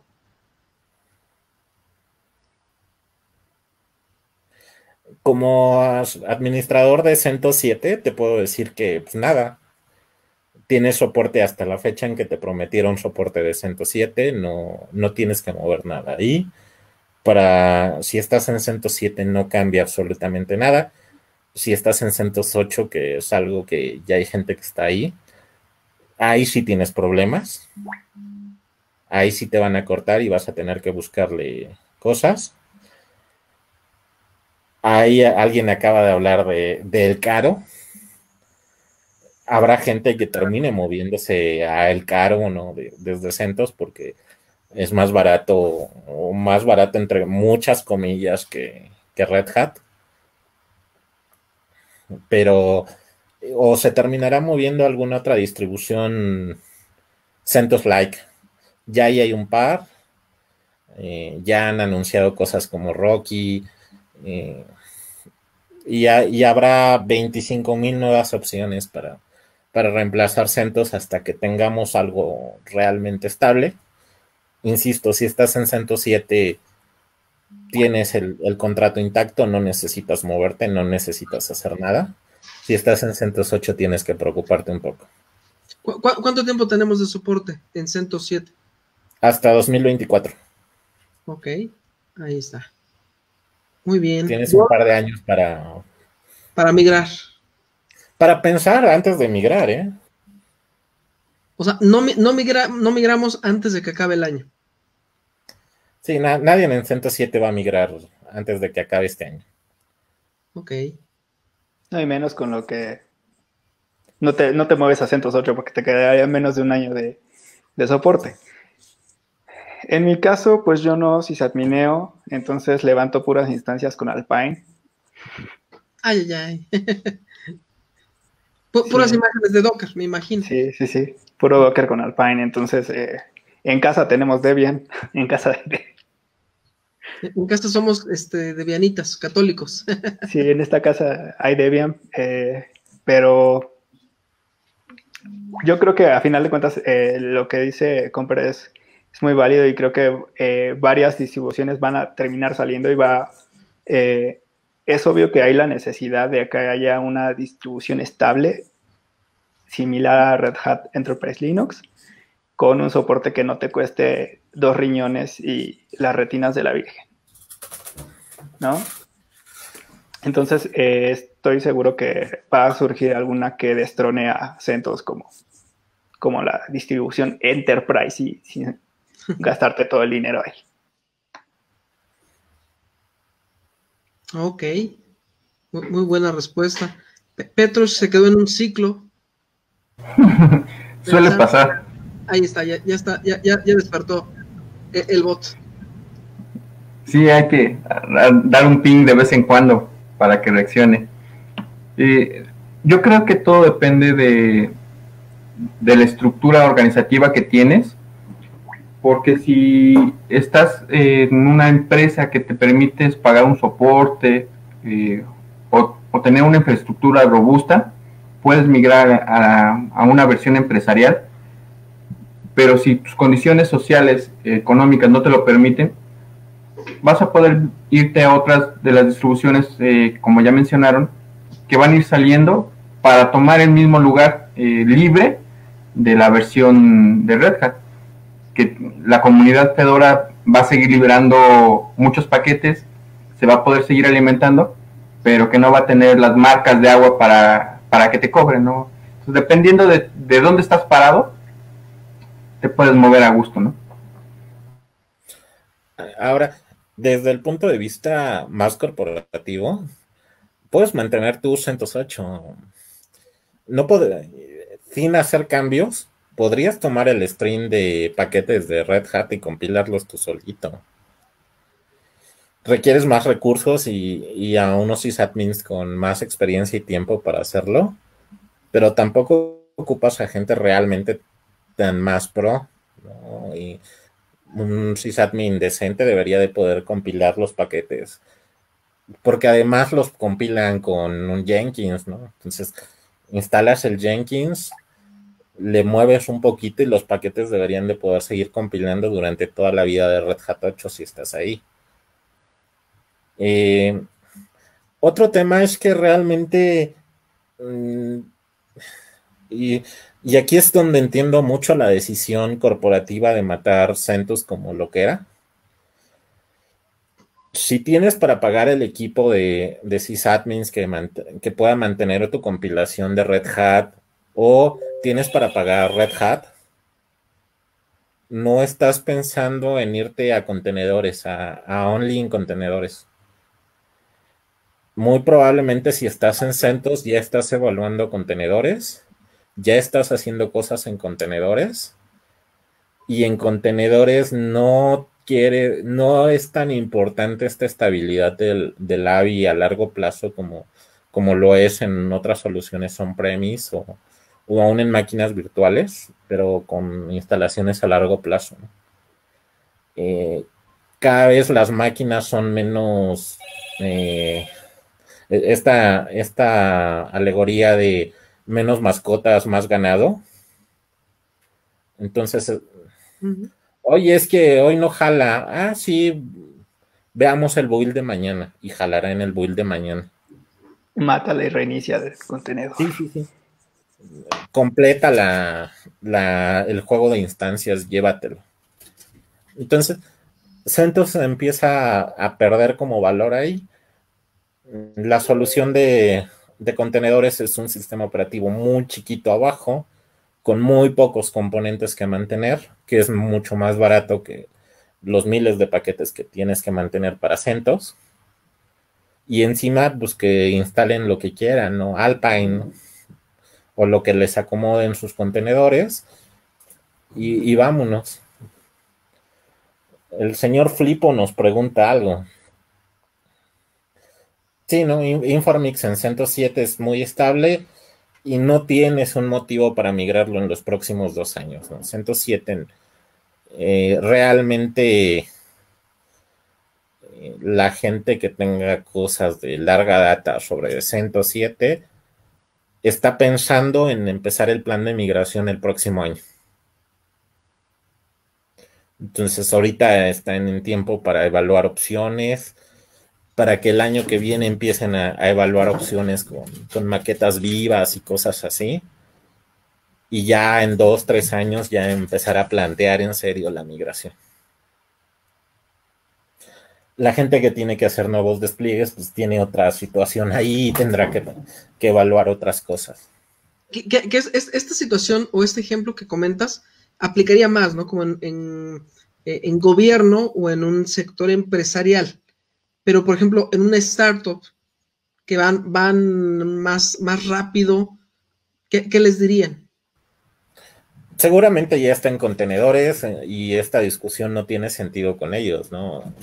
No están pensando en, por esto de ir más rápido, en soluciones que te ofrezcan seis años de estabilidad.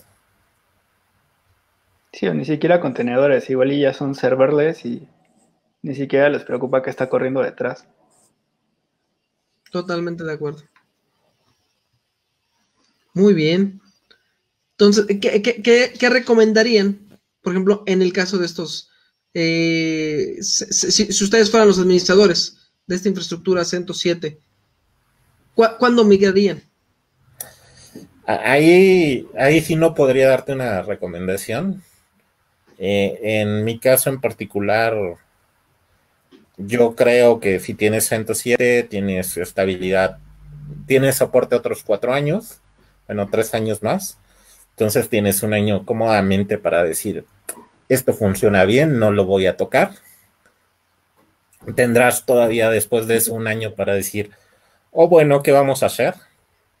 Y otro año para decir, ah, bueno, hay que migrar. Sí, también parte de esos tres años tienes tiempo para que maduren opciones y alternativas a acentos, ¿no? Entonces, eh, igual y para tu tercer año que ya estás haciendo tus pruebas y ya empiezas a hacer como eh, live POCs sobre, sobre tu propia infra, ya, ya igual y hay una, una distro que esté eh, canónica, ¿no? Que ya, te alcanza para pagar Red Hat, ¿no? O igual, ¿no? Y ya, ya tu, tu negocio alcanza para pagarte Red Hat o Oracle. Red Hat. o, incluso en ese tiempo ya vas a tener nuevos fierros y tus necesidades son otras. Entonces todavía tienes un, pequeño colchón. Sí, el, otro año vienen también cambios en arquitecturas de, de cosas disponibles, ¿no? DDR4, que es una promesa muy interesante para muchas cosas estas nuevas arquitecturas de CPU y, muchos juguetes ahí divertidos que vendrán, que en dos años podrás decirle a tu jefe, oye, necesitamos uno de esos. Quiero unos servidores con ARM. Quiero unos Graviton 2. Nos hacen un par de preguntas. Eh, aquí nos dice la primera, ¿comprarían ustedes el soporte para el CentOS de Oracle? Bueno, no, es el CentOS de Oracle, el parche de Oracle para CentOS. Pero por ahí va, va la pregunta. ¿Ustedes lo comprarían? Usamos CentOS, ¿no? En, bueno, ellos usan Debian en sus máquinas personales, ¿no? Entonces, no, no, personalmente no tengo necesidad de esas cosas. Me dan miedo los abogados de Oracle, la verdad. Sí, es, ellos hacen cosas bonitas, nosotros no, ahí están bien. Lo, que dice José Luis es muy cierto, ¿no? ARM en los próximos dos años va a ser una solución mucho más interesante. Cloudflare ha hecho cosas muy interesantes en, todavía en pruebas con servidores ARM que consumen una décima parte de la energía que hoy consumen las, las máquinas. Entonces. Amazon sigue haciendo también sus propios procesadores de ARM. Eh, si, si, estás en, en 107 y quieres migrar, todas esas cosas que vendrán en el próximo año y en los próximos dos años pues, te harán tener que reevaluarlo. La, pregunta de Gabriela.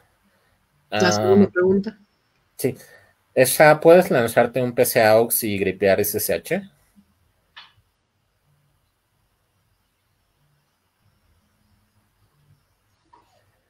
te dice, bueno, el primero te dice quién lo lanzó root, pero luego SSH está, el primer campo es el usuario que lo lanzó. Entonces, ahí, por ejemplo, nada más tenemos a un solo usuario, ¿no? Que es el que está en la, sesión activa. Muy bien. Nos dice José Luis Chiquete, compren SUSE, ¿qué opinan de ello?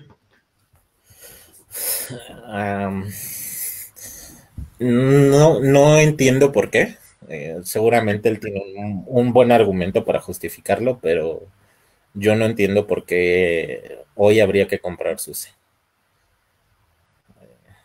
Más partiendo de, pues, no estoy pagando suscripciones, ¿no?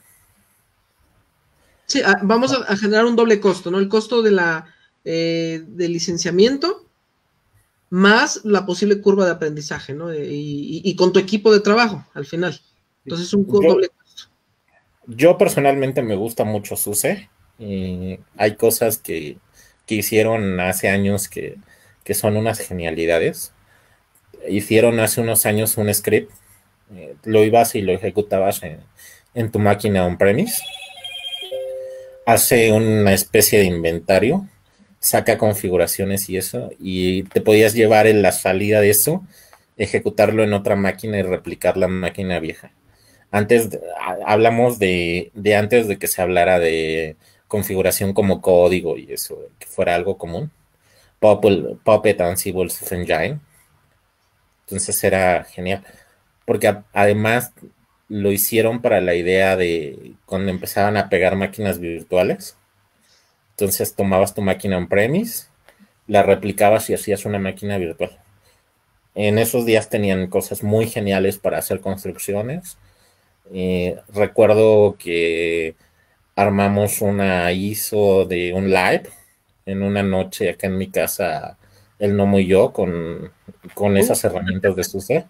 Hace como 10 años. Con, sí, hace como 10 años. SUSE Bill Center.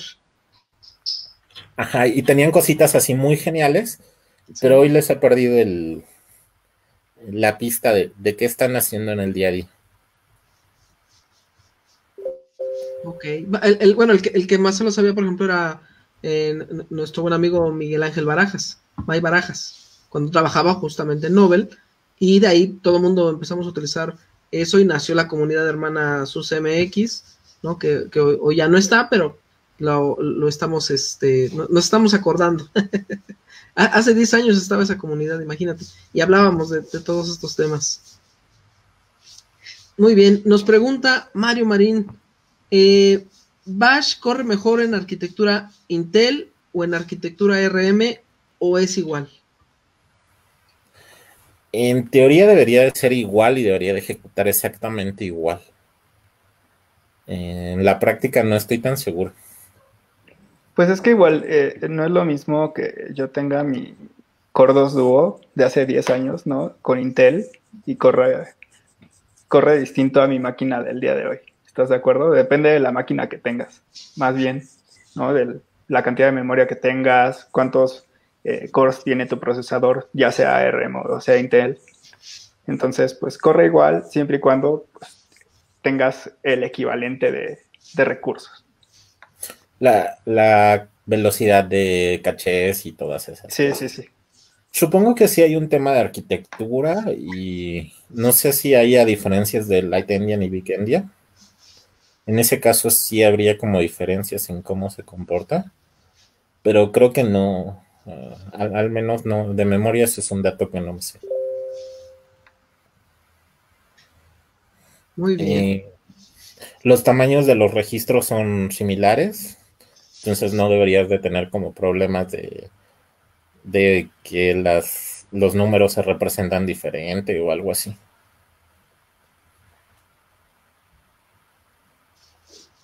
Ok, muy bien. Entonces, prácticamente sería lo mismo lo, que ustedes nos comentan. Eh, eh, Petros, ¿qué opinas al respecto? Sí, en tiempos recientes es muy, muy, muy, muy parecido. No deberíamos ver eh, diferencias. hace algunos años sí todavía había algunas utilerías que no estaban completamente migradas, pero cada vez son menos. Muy bien aquí, ahí, adelante, En las cosas que no están en ARM, ahí sí vas a encontrar diferencias. Eh, cada vez es menos. Eh, Apple metió un montón de trabajo en software libre para que corriera en ARM. Eh, porque ahora están ellos en ARM y, migraron varias cosas para hacerlo. Pero de ahí no, no deberías de notar gran diferencia. Ok. Eh, ahí yo tengo una pregunta, bueno, aprovechando que eh, hablábamos, empezamos a hablar un poquito de la CRM, que, cómo, eh, cómo, creen que funcionará, por ejemplo, ahorita en los nuevos procesadores, los M1 de Apple? E, este tema del igual de, los, de los shells en general. Tendría que probarlo, pero todos los reviews el, problema es que ellos tienen la memoria literal así al lado del procesador, ¿no? Entonces no haces ningún round trip enorme hacia una RAM que está lejos de tu procesador, ¿no? Entonces, o separada incluso de tu procesador. Entonces esperaría que el performance fuera bastante bueno.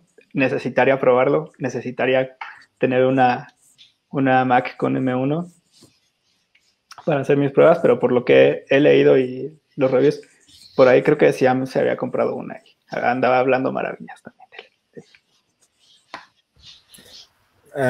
vi algunos cambios en, por ejemplo, en Nginx, de cosas que hicieron para que corriera en ARM Nginx.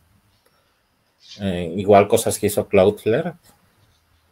Y hasta donde alcanzo a entender, no hay gran diferencia sí hay obviamente pequeñas diferencias que son muy sutiles, pero que también muy importantes. Pero no se ve, los cambios necesarios no se ven tan radicales. Regresando un poco a la shell, la shell depende de tu kernel. Eh, al final termina ejecutando cosas del kernel. El que, va, el que va a tener y va a absorber los cambios entre correr entre ARM o Intel o AMD o, PowerPC es el kernel. Entonces, mientras el kernel exponga una API idéntica, tu shell va, debería de ser idéntica en, en cuanto a experiencia en general, no tanto en cuanto a, que corra más rápido, ¿no? Eso ya necesitamos una M1 para jugar un rato, ah, deberíamos, deberíamos hacer una vaquita entonces para juntar para una M1 y empezar a, correrla, a ver cómo funciona desde todas las perspectivas, ¿no? Por ejemplo, Word que trabaja más en la, parte web, Cristian un poquito más el tema sysadmin, de mi lado el tema mobile. Entonces, hay, hay, que hacer un review muy pronto. yo, no, yo no podría comprarme una porque Docker todavía no anda en, en M1. ¿Por qué no corre Docker en M1? No me he metido mucho en ese aspecto, si, si igual tú lo conoces. Sí, puedes levantar eh, contenedores de Docker con ARM, eso sí sin problema, pero si, si tus contenedores no están en ARM, eh, ahí sí no, no puedes levantarlos. Y la infra que uso hoy día está sobre Intel. Entonces, sí, mis contenedores estarían diferentes a los de mi infra. Y por eso no, hoy día no, yo no me compraría una Mac con M1. Ni con Rosetta 2 eh, corre, Docker ahorita. No, porque Rosetta 2 eh, solo eh, bueno, hace como la transpilación a, ARM de binarios siempre y cuando no, eh, no emulen otras arquitecturas. Entonces, por eso no puedes correr VirtualBox sobre Rosetta 2, no puedes correr Parallels o VMware. Sí puedes correr, por ejemplo, Chrome, que tiene un hit para JavaScript, pero no puedes correr emuladores de otra cosa. Entonces la máquina virtual de Docker no podría levantarse. Entonces la máquina virtual de Docker no podría levantarse.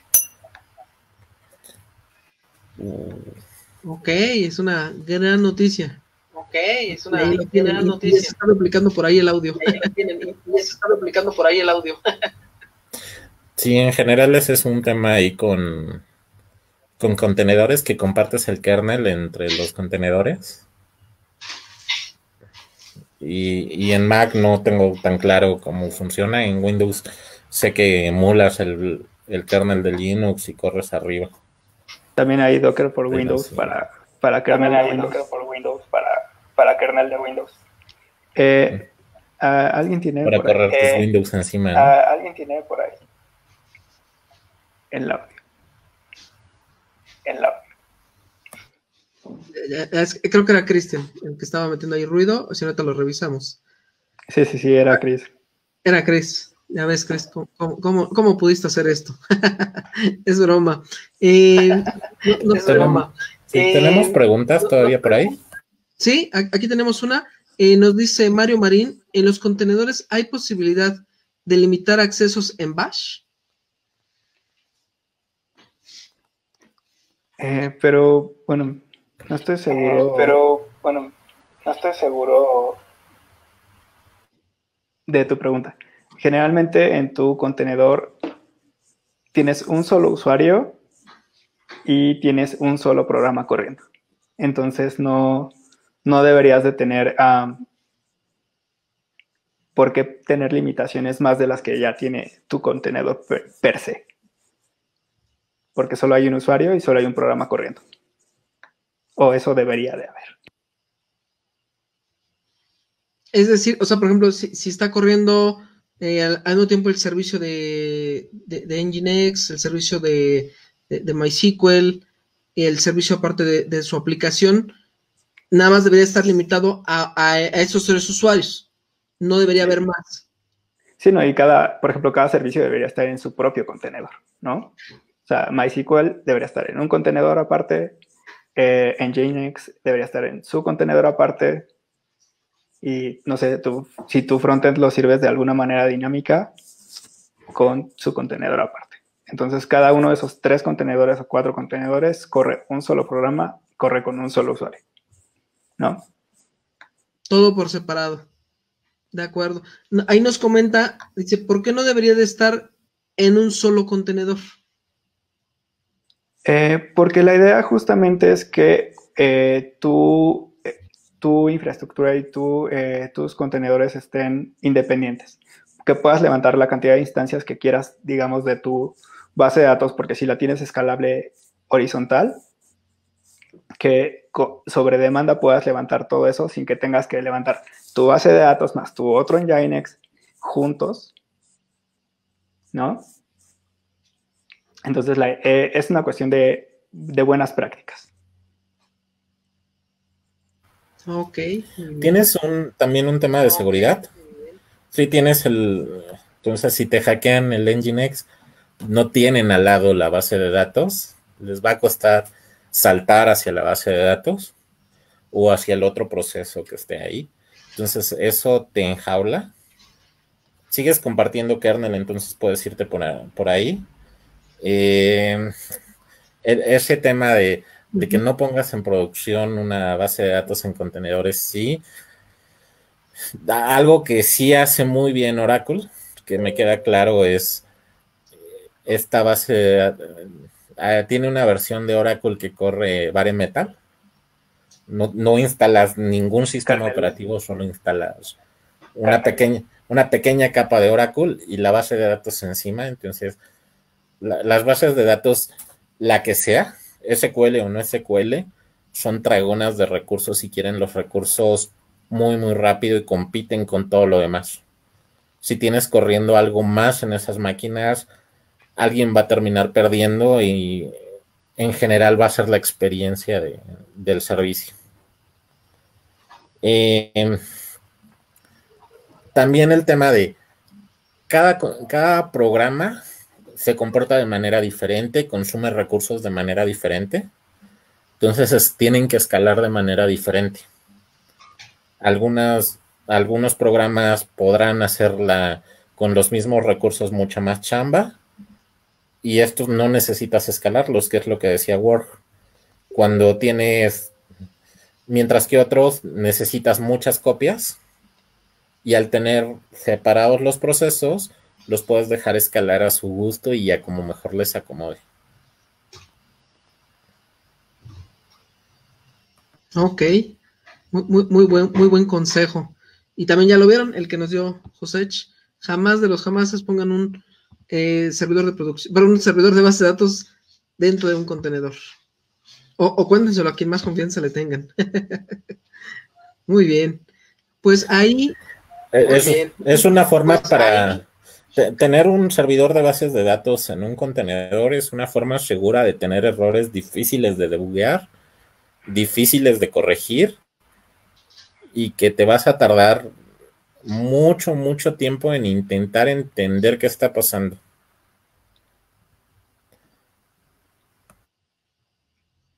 Totalmente de acuerdo. Eh, eh, sería, sería este, como, ahorita en épocas de piñatas, tirar palos a ciegas. No sabrías dónde está el problema en tu servidor. Sí, porque aparte lo divertido de contenedores es que solo tienes un programa, no tienes nada más ahí, entonces, todas las herramientas que tendrías en, una máquina on-premise para, para averiguar el programa, el problema no lo tienes. Totalmente de acuerdo. Muy bien. Pues al parecer las preguntas hasta este momento han terminado. O están ahora llegando en ese minutito de, diferencia que tenemos con, con respecto a live. Ahí está. Entonces, regresamos a la diapositiva o continuamos con algunos otros interesantes trucos por Chris y Petros. Por Chris. No, ya, ya casi son las 12 de la noche en la despedida y pues uno ya no puede dormir tan tarde, al, menos no tantos días seguidos a la semana. Ya a esta edad ya no se puede. Pero, hoy es viernes y el cuerpo lo no puede. Pero hoy es viernes y el cuerpo lo puede. Sí, por eso te dice, oye, vamos a dormir para juntar 14 horas de sueño. sí, 14 horas en, el próximo Hoy se puede, vamos. Muy bien, entonces pasamos a la siguiente diapositiva. Entonces pasamos a la siguiente diapositiva. Y ahí, yo creo que a ver si podemos quitar el, el ruido. yo creo que a ver si podemos quitar el, el ruido. Ahora sí, ya quedó. Muy bien. Eh, ustedes saben que es un programa en vivo y pasa este eh, tipo Ustedes saben que es un programa en vivo y pasa este tipo de... Eh, las, las primeras hojas están ahí. Aquí, si quieren aprender Shell, en, serio aprender Shell y no nada más jugar con ella, hay dos opciones. Una es con Petrosh, va a dar un tallercito ahí en el, en el rancho. Está dando un tallercito en el rancho.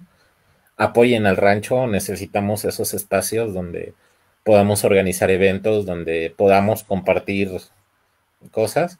Si no, eh, José Luis tiene un curso muy específico con muchos detalles ahí. Entonces pueden ir al curso de José Luis que está gratis o, pagarle a él o a cualquier otro que sea de su agrado para, para los cursos, ¿no? Eh, estos enlaces los va a pegar el buen Lubert cuando lo suba a YouTube. Entonces, si lo están viendo en YouTube, pues pueden verlos ahí, darles clic.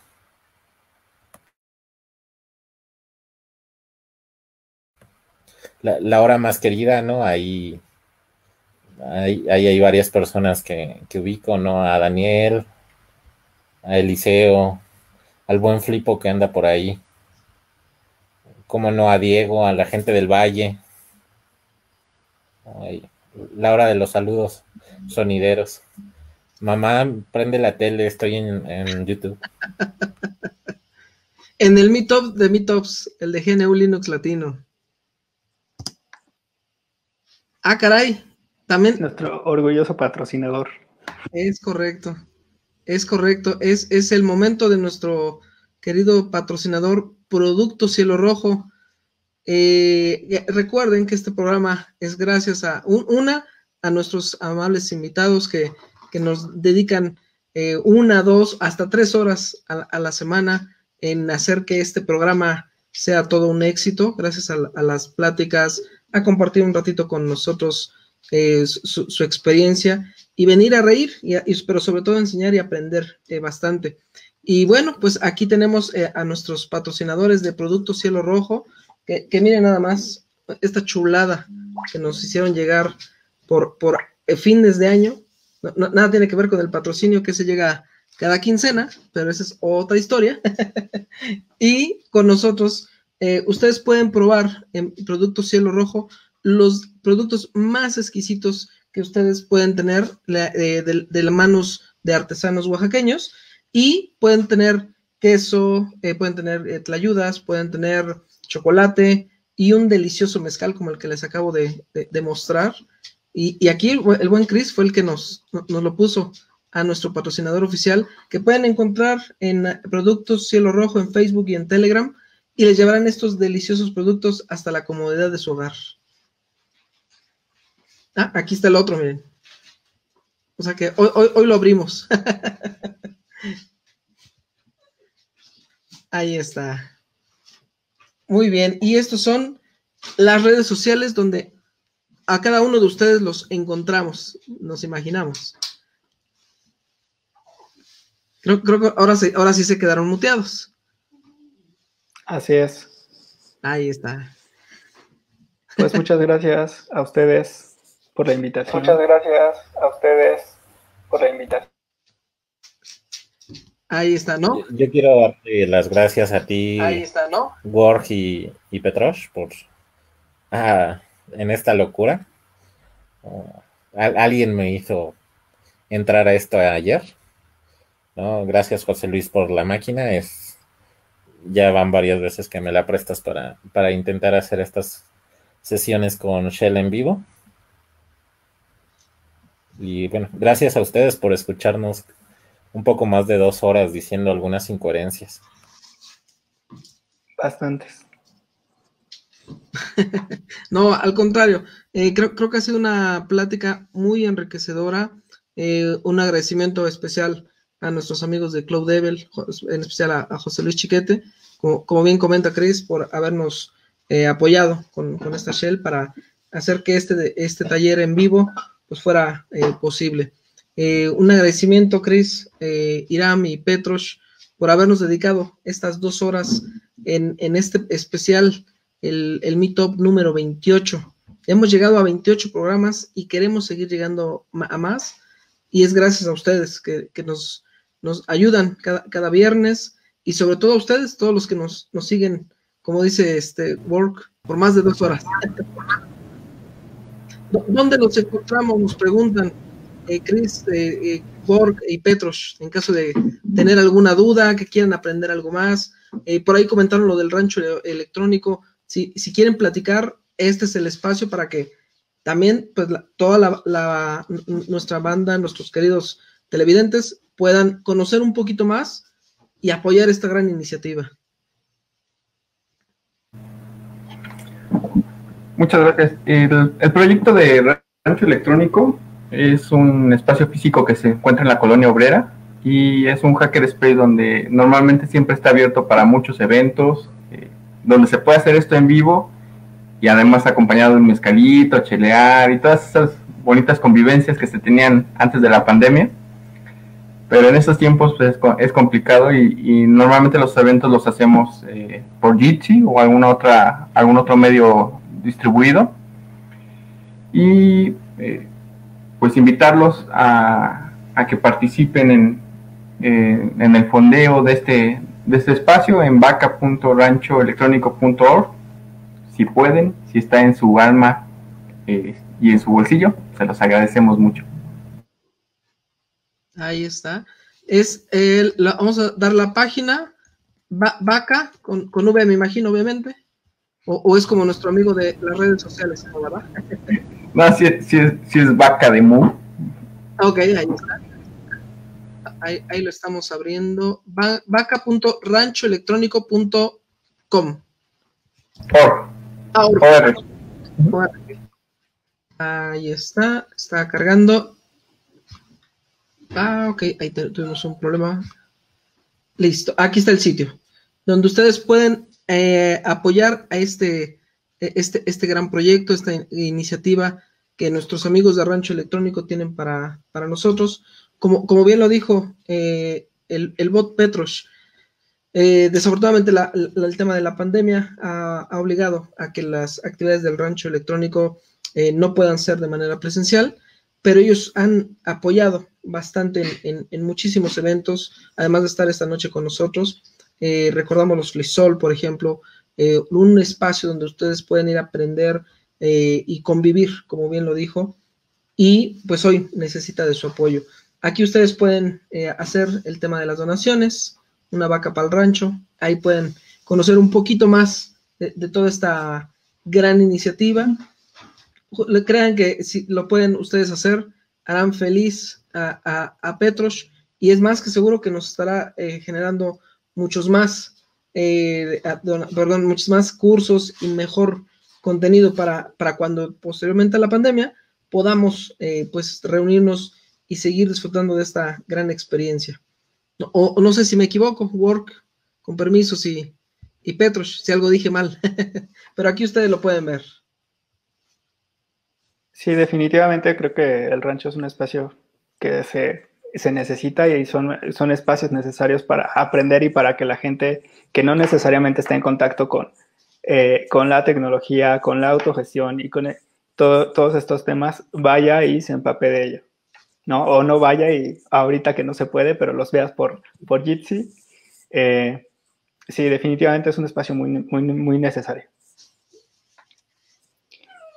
Es correcto. Así que en lugar de, echarse una chela, inviten una chela, pero al rancho electrónico para que nos sigan apoyando en generar bastante y buen contenido. Y cuando pase la pandemia, pues estemos mucho mejor y aprendamos muchísimas cosas más. Ahí está, muy bien. Pues ahí, tenemos la información y ha sido un gusto compartir esta noche con ustedes. Eh, con permisos, Word, Petros, ¿algún último consejo, algunas últimas palabras para todos los que nos han visto esta noche del Meetup número 28 de GNU Linux Latino? Uh, nunca dejen de aprender, nunca, nunca dejen de romper cosas, van a, van a romper cosas, pero lo, lo, lo, bueno de romper cosas es que aprendes a repararlas en algún punto y, y, eso siempre te deja enseñanzas. Eh, hay que romper cosas, eh, la única forma que creo yo para aprender es rompiendo cosas y y arreglándolas, ¿no? Mm, ten cuidado con, con dónde las rompes. Las máquinas virtuales, contenedores, son cosas muy padres porque puedes romperlas y tirarlas a la basura sin, sin mayor pérdida que el tiempo que estuviste ahí atorado. No, tires cosas en producción, eso no es divertido para nadie. Pero de ahí, eh, espacios como el rancho, que, tienen muchas pequeñas carencias, son lugares muy interesantes. lo que hace falta en comunidades te ayuda a aprender, te ayuda a aprender en un ambiente muy seguro y sin presiones. No, tienes la fecha de lanzamiento con el cliente. Entonces, eh, es un muy buen lugar para empezar las comunidades, empezar a jugar ahí. Y cómo te acomoda el aprender, ese es otro tema. Y habrá quien les acomode libros, quien les acomode cursos, cursos eh, autodidactas o cursos con tutorados. Eso ya es eh, un tema de, cada quien. Pero pierde el miedo, ¿no? Y por eso insisto con las máquinas virtuales. Te instalas una máquina virtual, le mueves, le mueves, le mueves y en algún momento la vas a romper de manera tal que no la puedas arreglar. No hay problema. Vuelves a instalar otra máquina virtual y vamos con la siguiente hasta que, hasta que las puedas arreglar todas, ¿no? Piérdeles el miedo y, encuentra situaciones ahí donde, donde puedas perderle todo el miedo y, y empezarle ahí. Hay gente, eh, José Luis, por ejemplo, eh, Miguel Barajas, me consta, si haces las preguntas con, un poco más de, de, ganas, pues te puede contestar Sandino, Rollman, que de pronto parecen muy lejanos, y que, pero que saben mucho. Entonces, si les preguntas, te van a contestar. Eh, hay varios canales en Telegram. A veces contestamos en Twitter dudas. Y te digo contestamos porque pues, luego estamos ahí perdiendo el tiempo en Twitter y vemos preguntas. Y pues las contestamos, si las sabes pregunta, pregunta, pregunta. Hay canales que son más amables con, las preguntas, hay canales donde esperan que hagas preguntas, llamémoslas más informadas. Lee el canal un rato, ve, de qué va y pregunta así cómo va. ¿No? Eh, la cruel realidad es que la mayoría de los Linuxeros siempre estamos dispuestos a hablar de Linux. Entonces, si nos preguntas de Linux, vamos a ser muy felices contándote de Linux. Pregunta, pregunta y rompe cosas. Esa es la, mejor forma que yo conozco para aprender.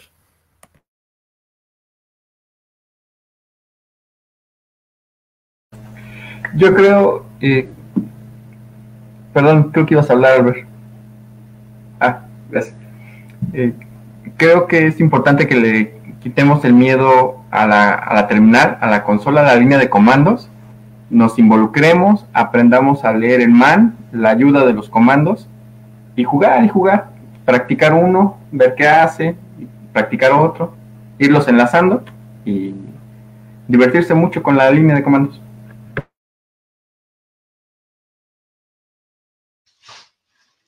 Muy bien, muy, muy buen consejo y tienes toda la razón. Jueguen todos los días con, con la línea de comandos. Excelente información.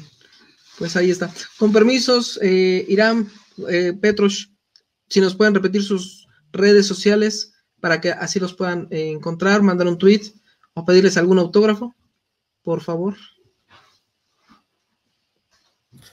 Yo, espero que Works me dé un autógrafo ahí en, un pedazo de papel con mi nombre y páguese al portador, ¿no? pues arroba WRG, arroba Work en Twitter. Eh, no estoy diario ahí, pero seguro me llega la notificación y les respondo. Muy bien. Yo estoy, como Petrus en casi todos lados y seguramente me, me localizarán fácilmente.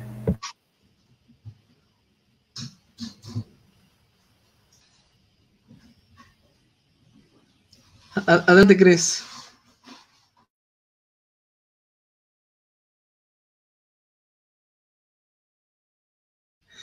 Creo, creo que ahora Chris fue el que se cicló. Como que va y viene el internet, entonces ya, ya no debe de tardar. A ver, ahí, arroba con permisos en la mayor parte de los lados. Ahí están los, los links. No, no, no, no te escucharon porque se cortó. No, no sé si lo puedes volver a repetir, Cristian. Ah, ya tengo aquí un tema de red. Ok. Eh, estoy eh, como arroba con permisos en la mayor parte de los lados. Excelente, muy bien. Pues listo, al parecer ya no hubo más preguntas, pero si llegan más preguntas, las haremos eh, vía Telegram y las estaremos contestando en el Telegram arroba gnu-linux-latino. Muy bien, pues Cristian, Petros, Work, ha sido un placer recibirlos esta noche en el Meetup número 28.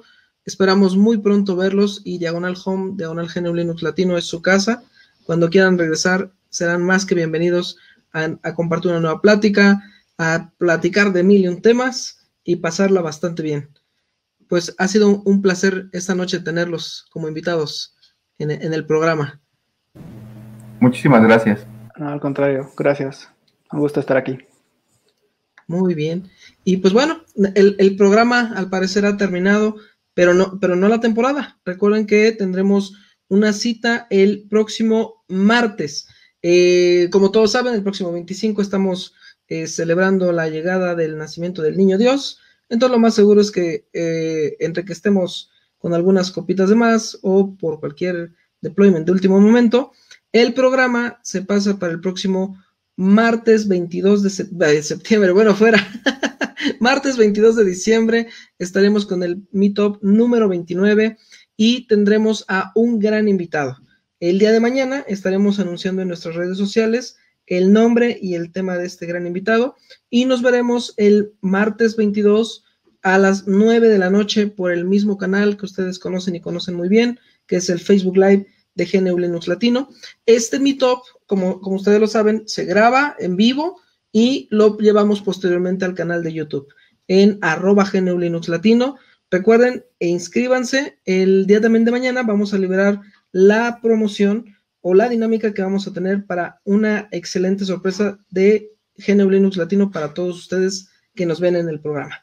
Muy bien, pues les recordamos nuestras redes sociales ya para terminar, arroba GNU Linux Latino, Twitter, Facebook y YouTube, eh, Telegram, GNU-Linux-Latino, ahí están la mayoría de los que han estado con nosotros en el programa, ahí contestan sus dudas, como bien dijo, con permisos, pueden platicar, eh, pueden unirse al, hashtag Viernes de Escritorio, también hay eh, interesantes este, hilos o las pláticas en los demás grupos con todos nuestros amigos que, que, que han estado, Diego, Rollman, Iván, con permisos, este, Work, hay muchos y ahí van a estar eh, con gusto, como bien dijeron, platicando con ustedes y resolviendo algunas dudas.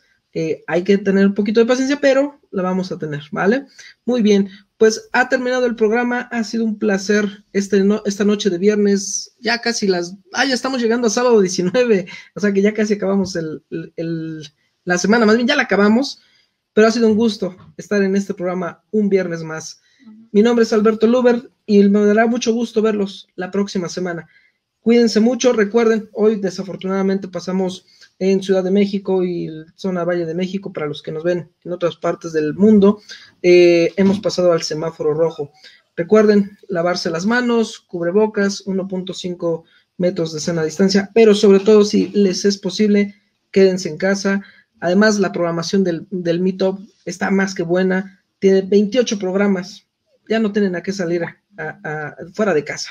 Cuídense mucho, un fuerte abrazo. Work, Cristian, Petros, ha sido un placer compartir esta noche con ustedes. Cuídense mucho, un abrazo fuerte y que tengan muy buenas noches. Buenas noches, México País, buenas noches, América. Ha sido un placer estar con ustedes. Nos vemos. Bye, gracias. Cuídense mucho.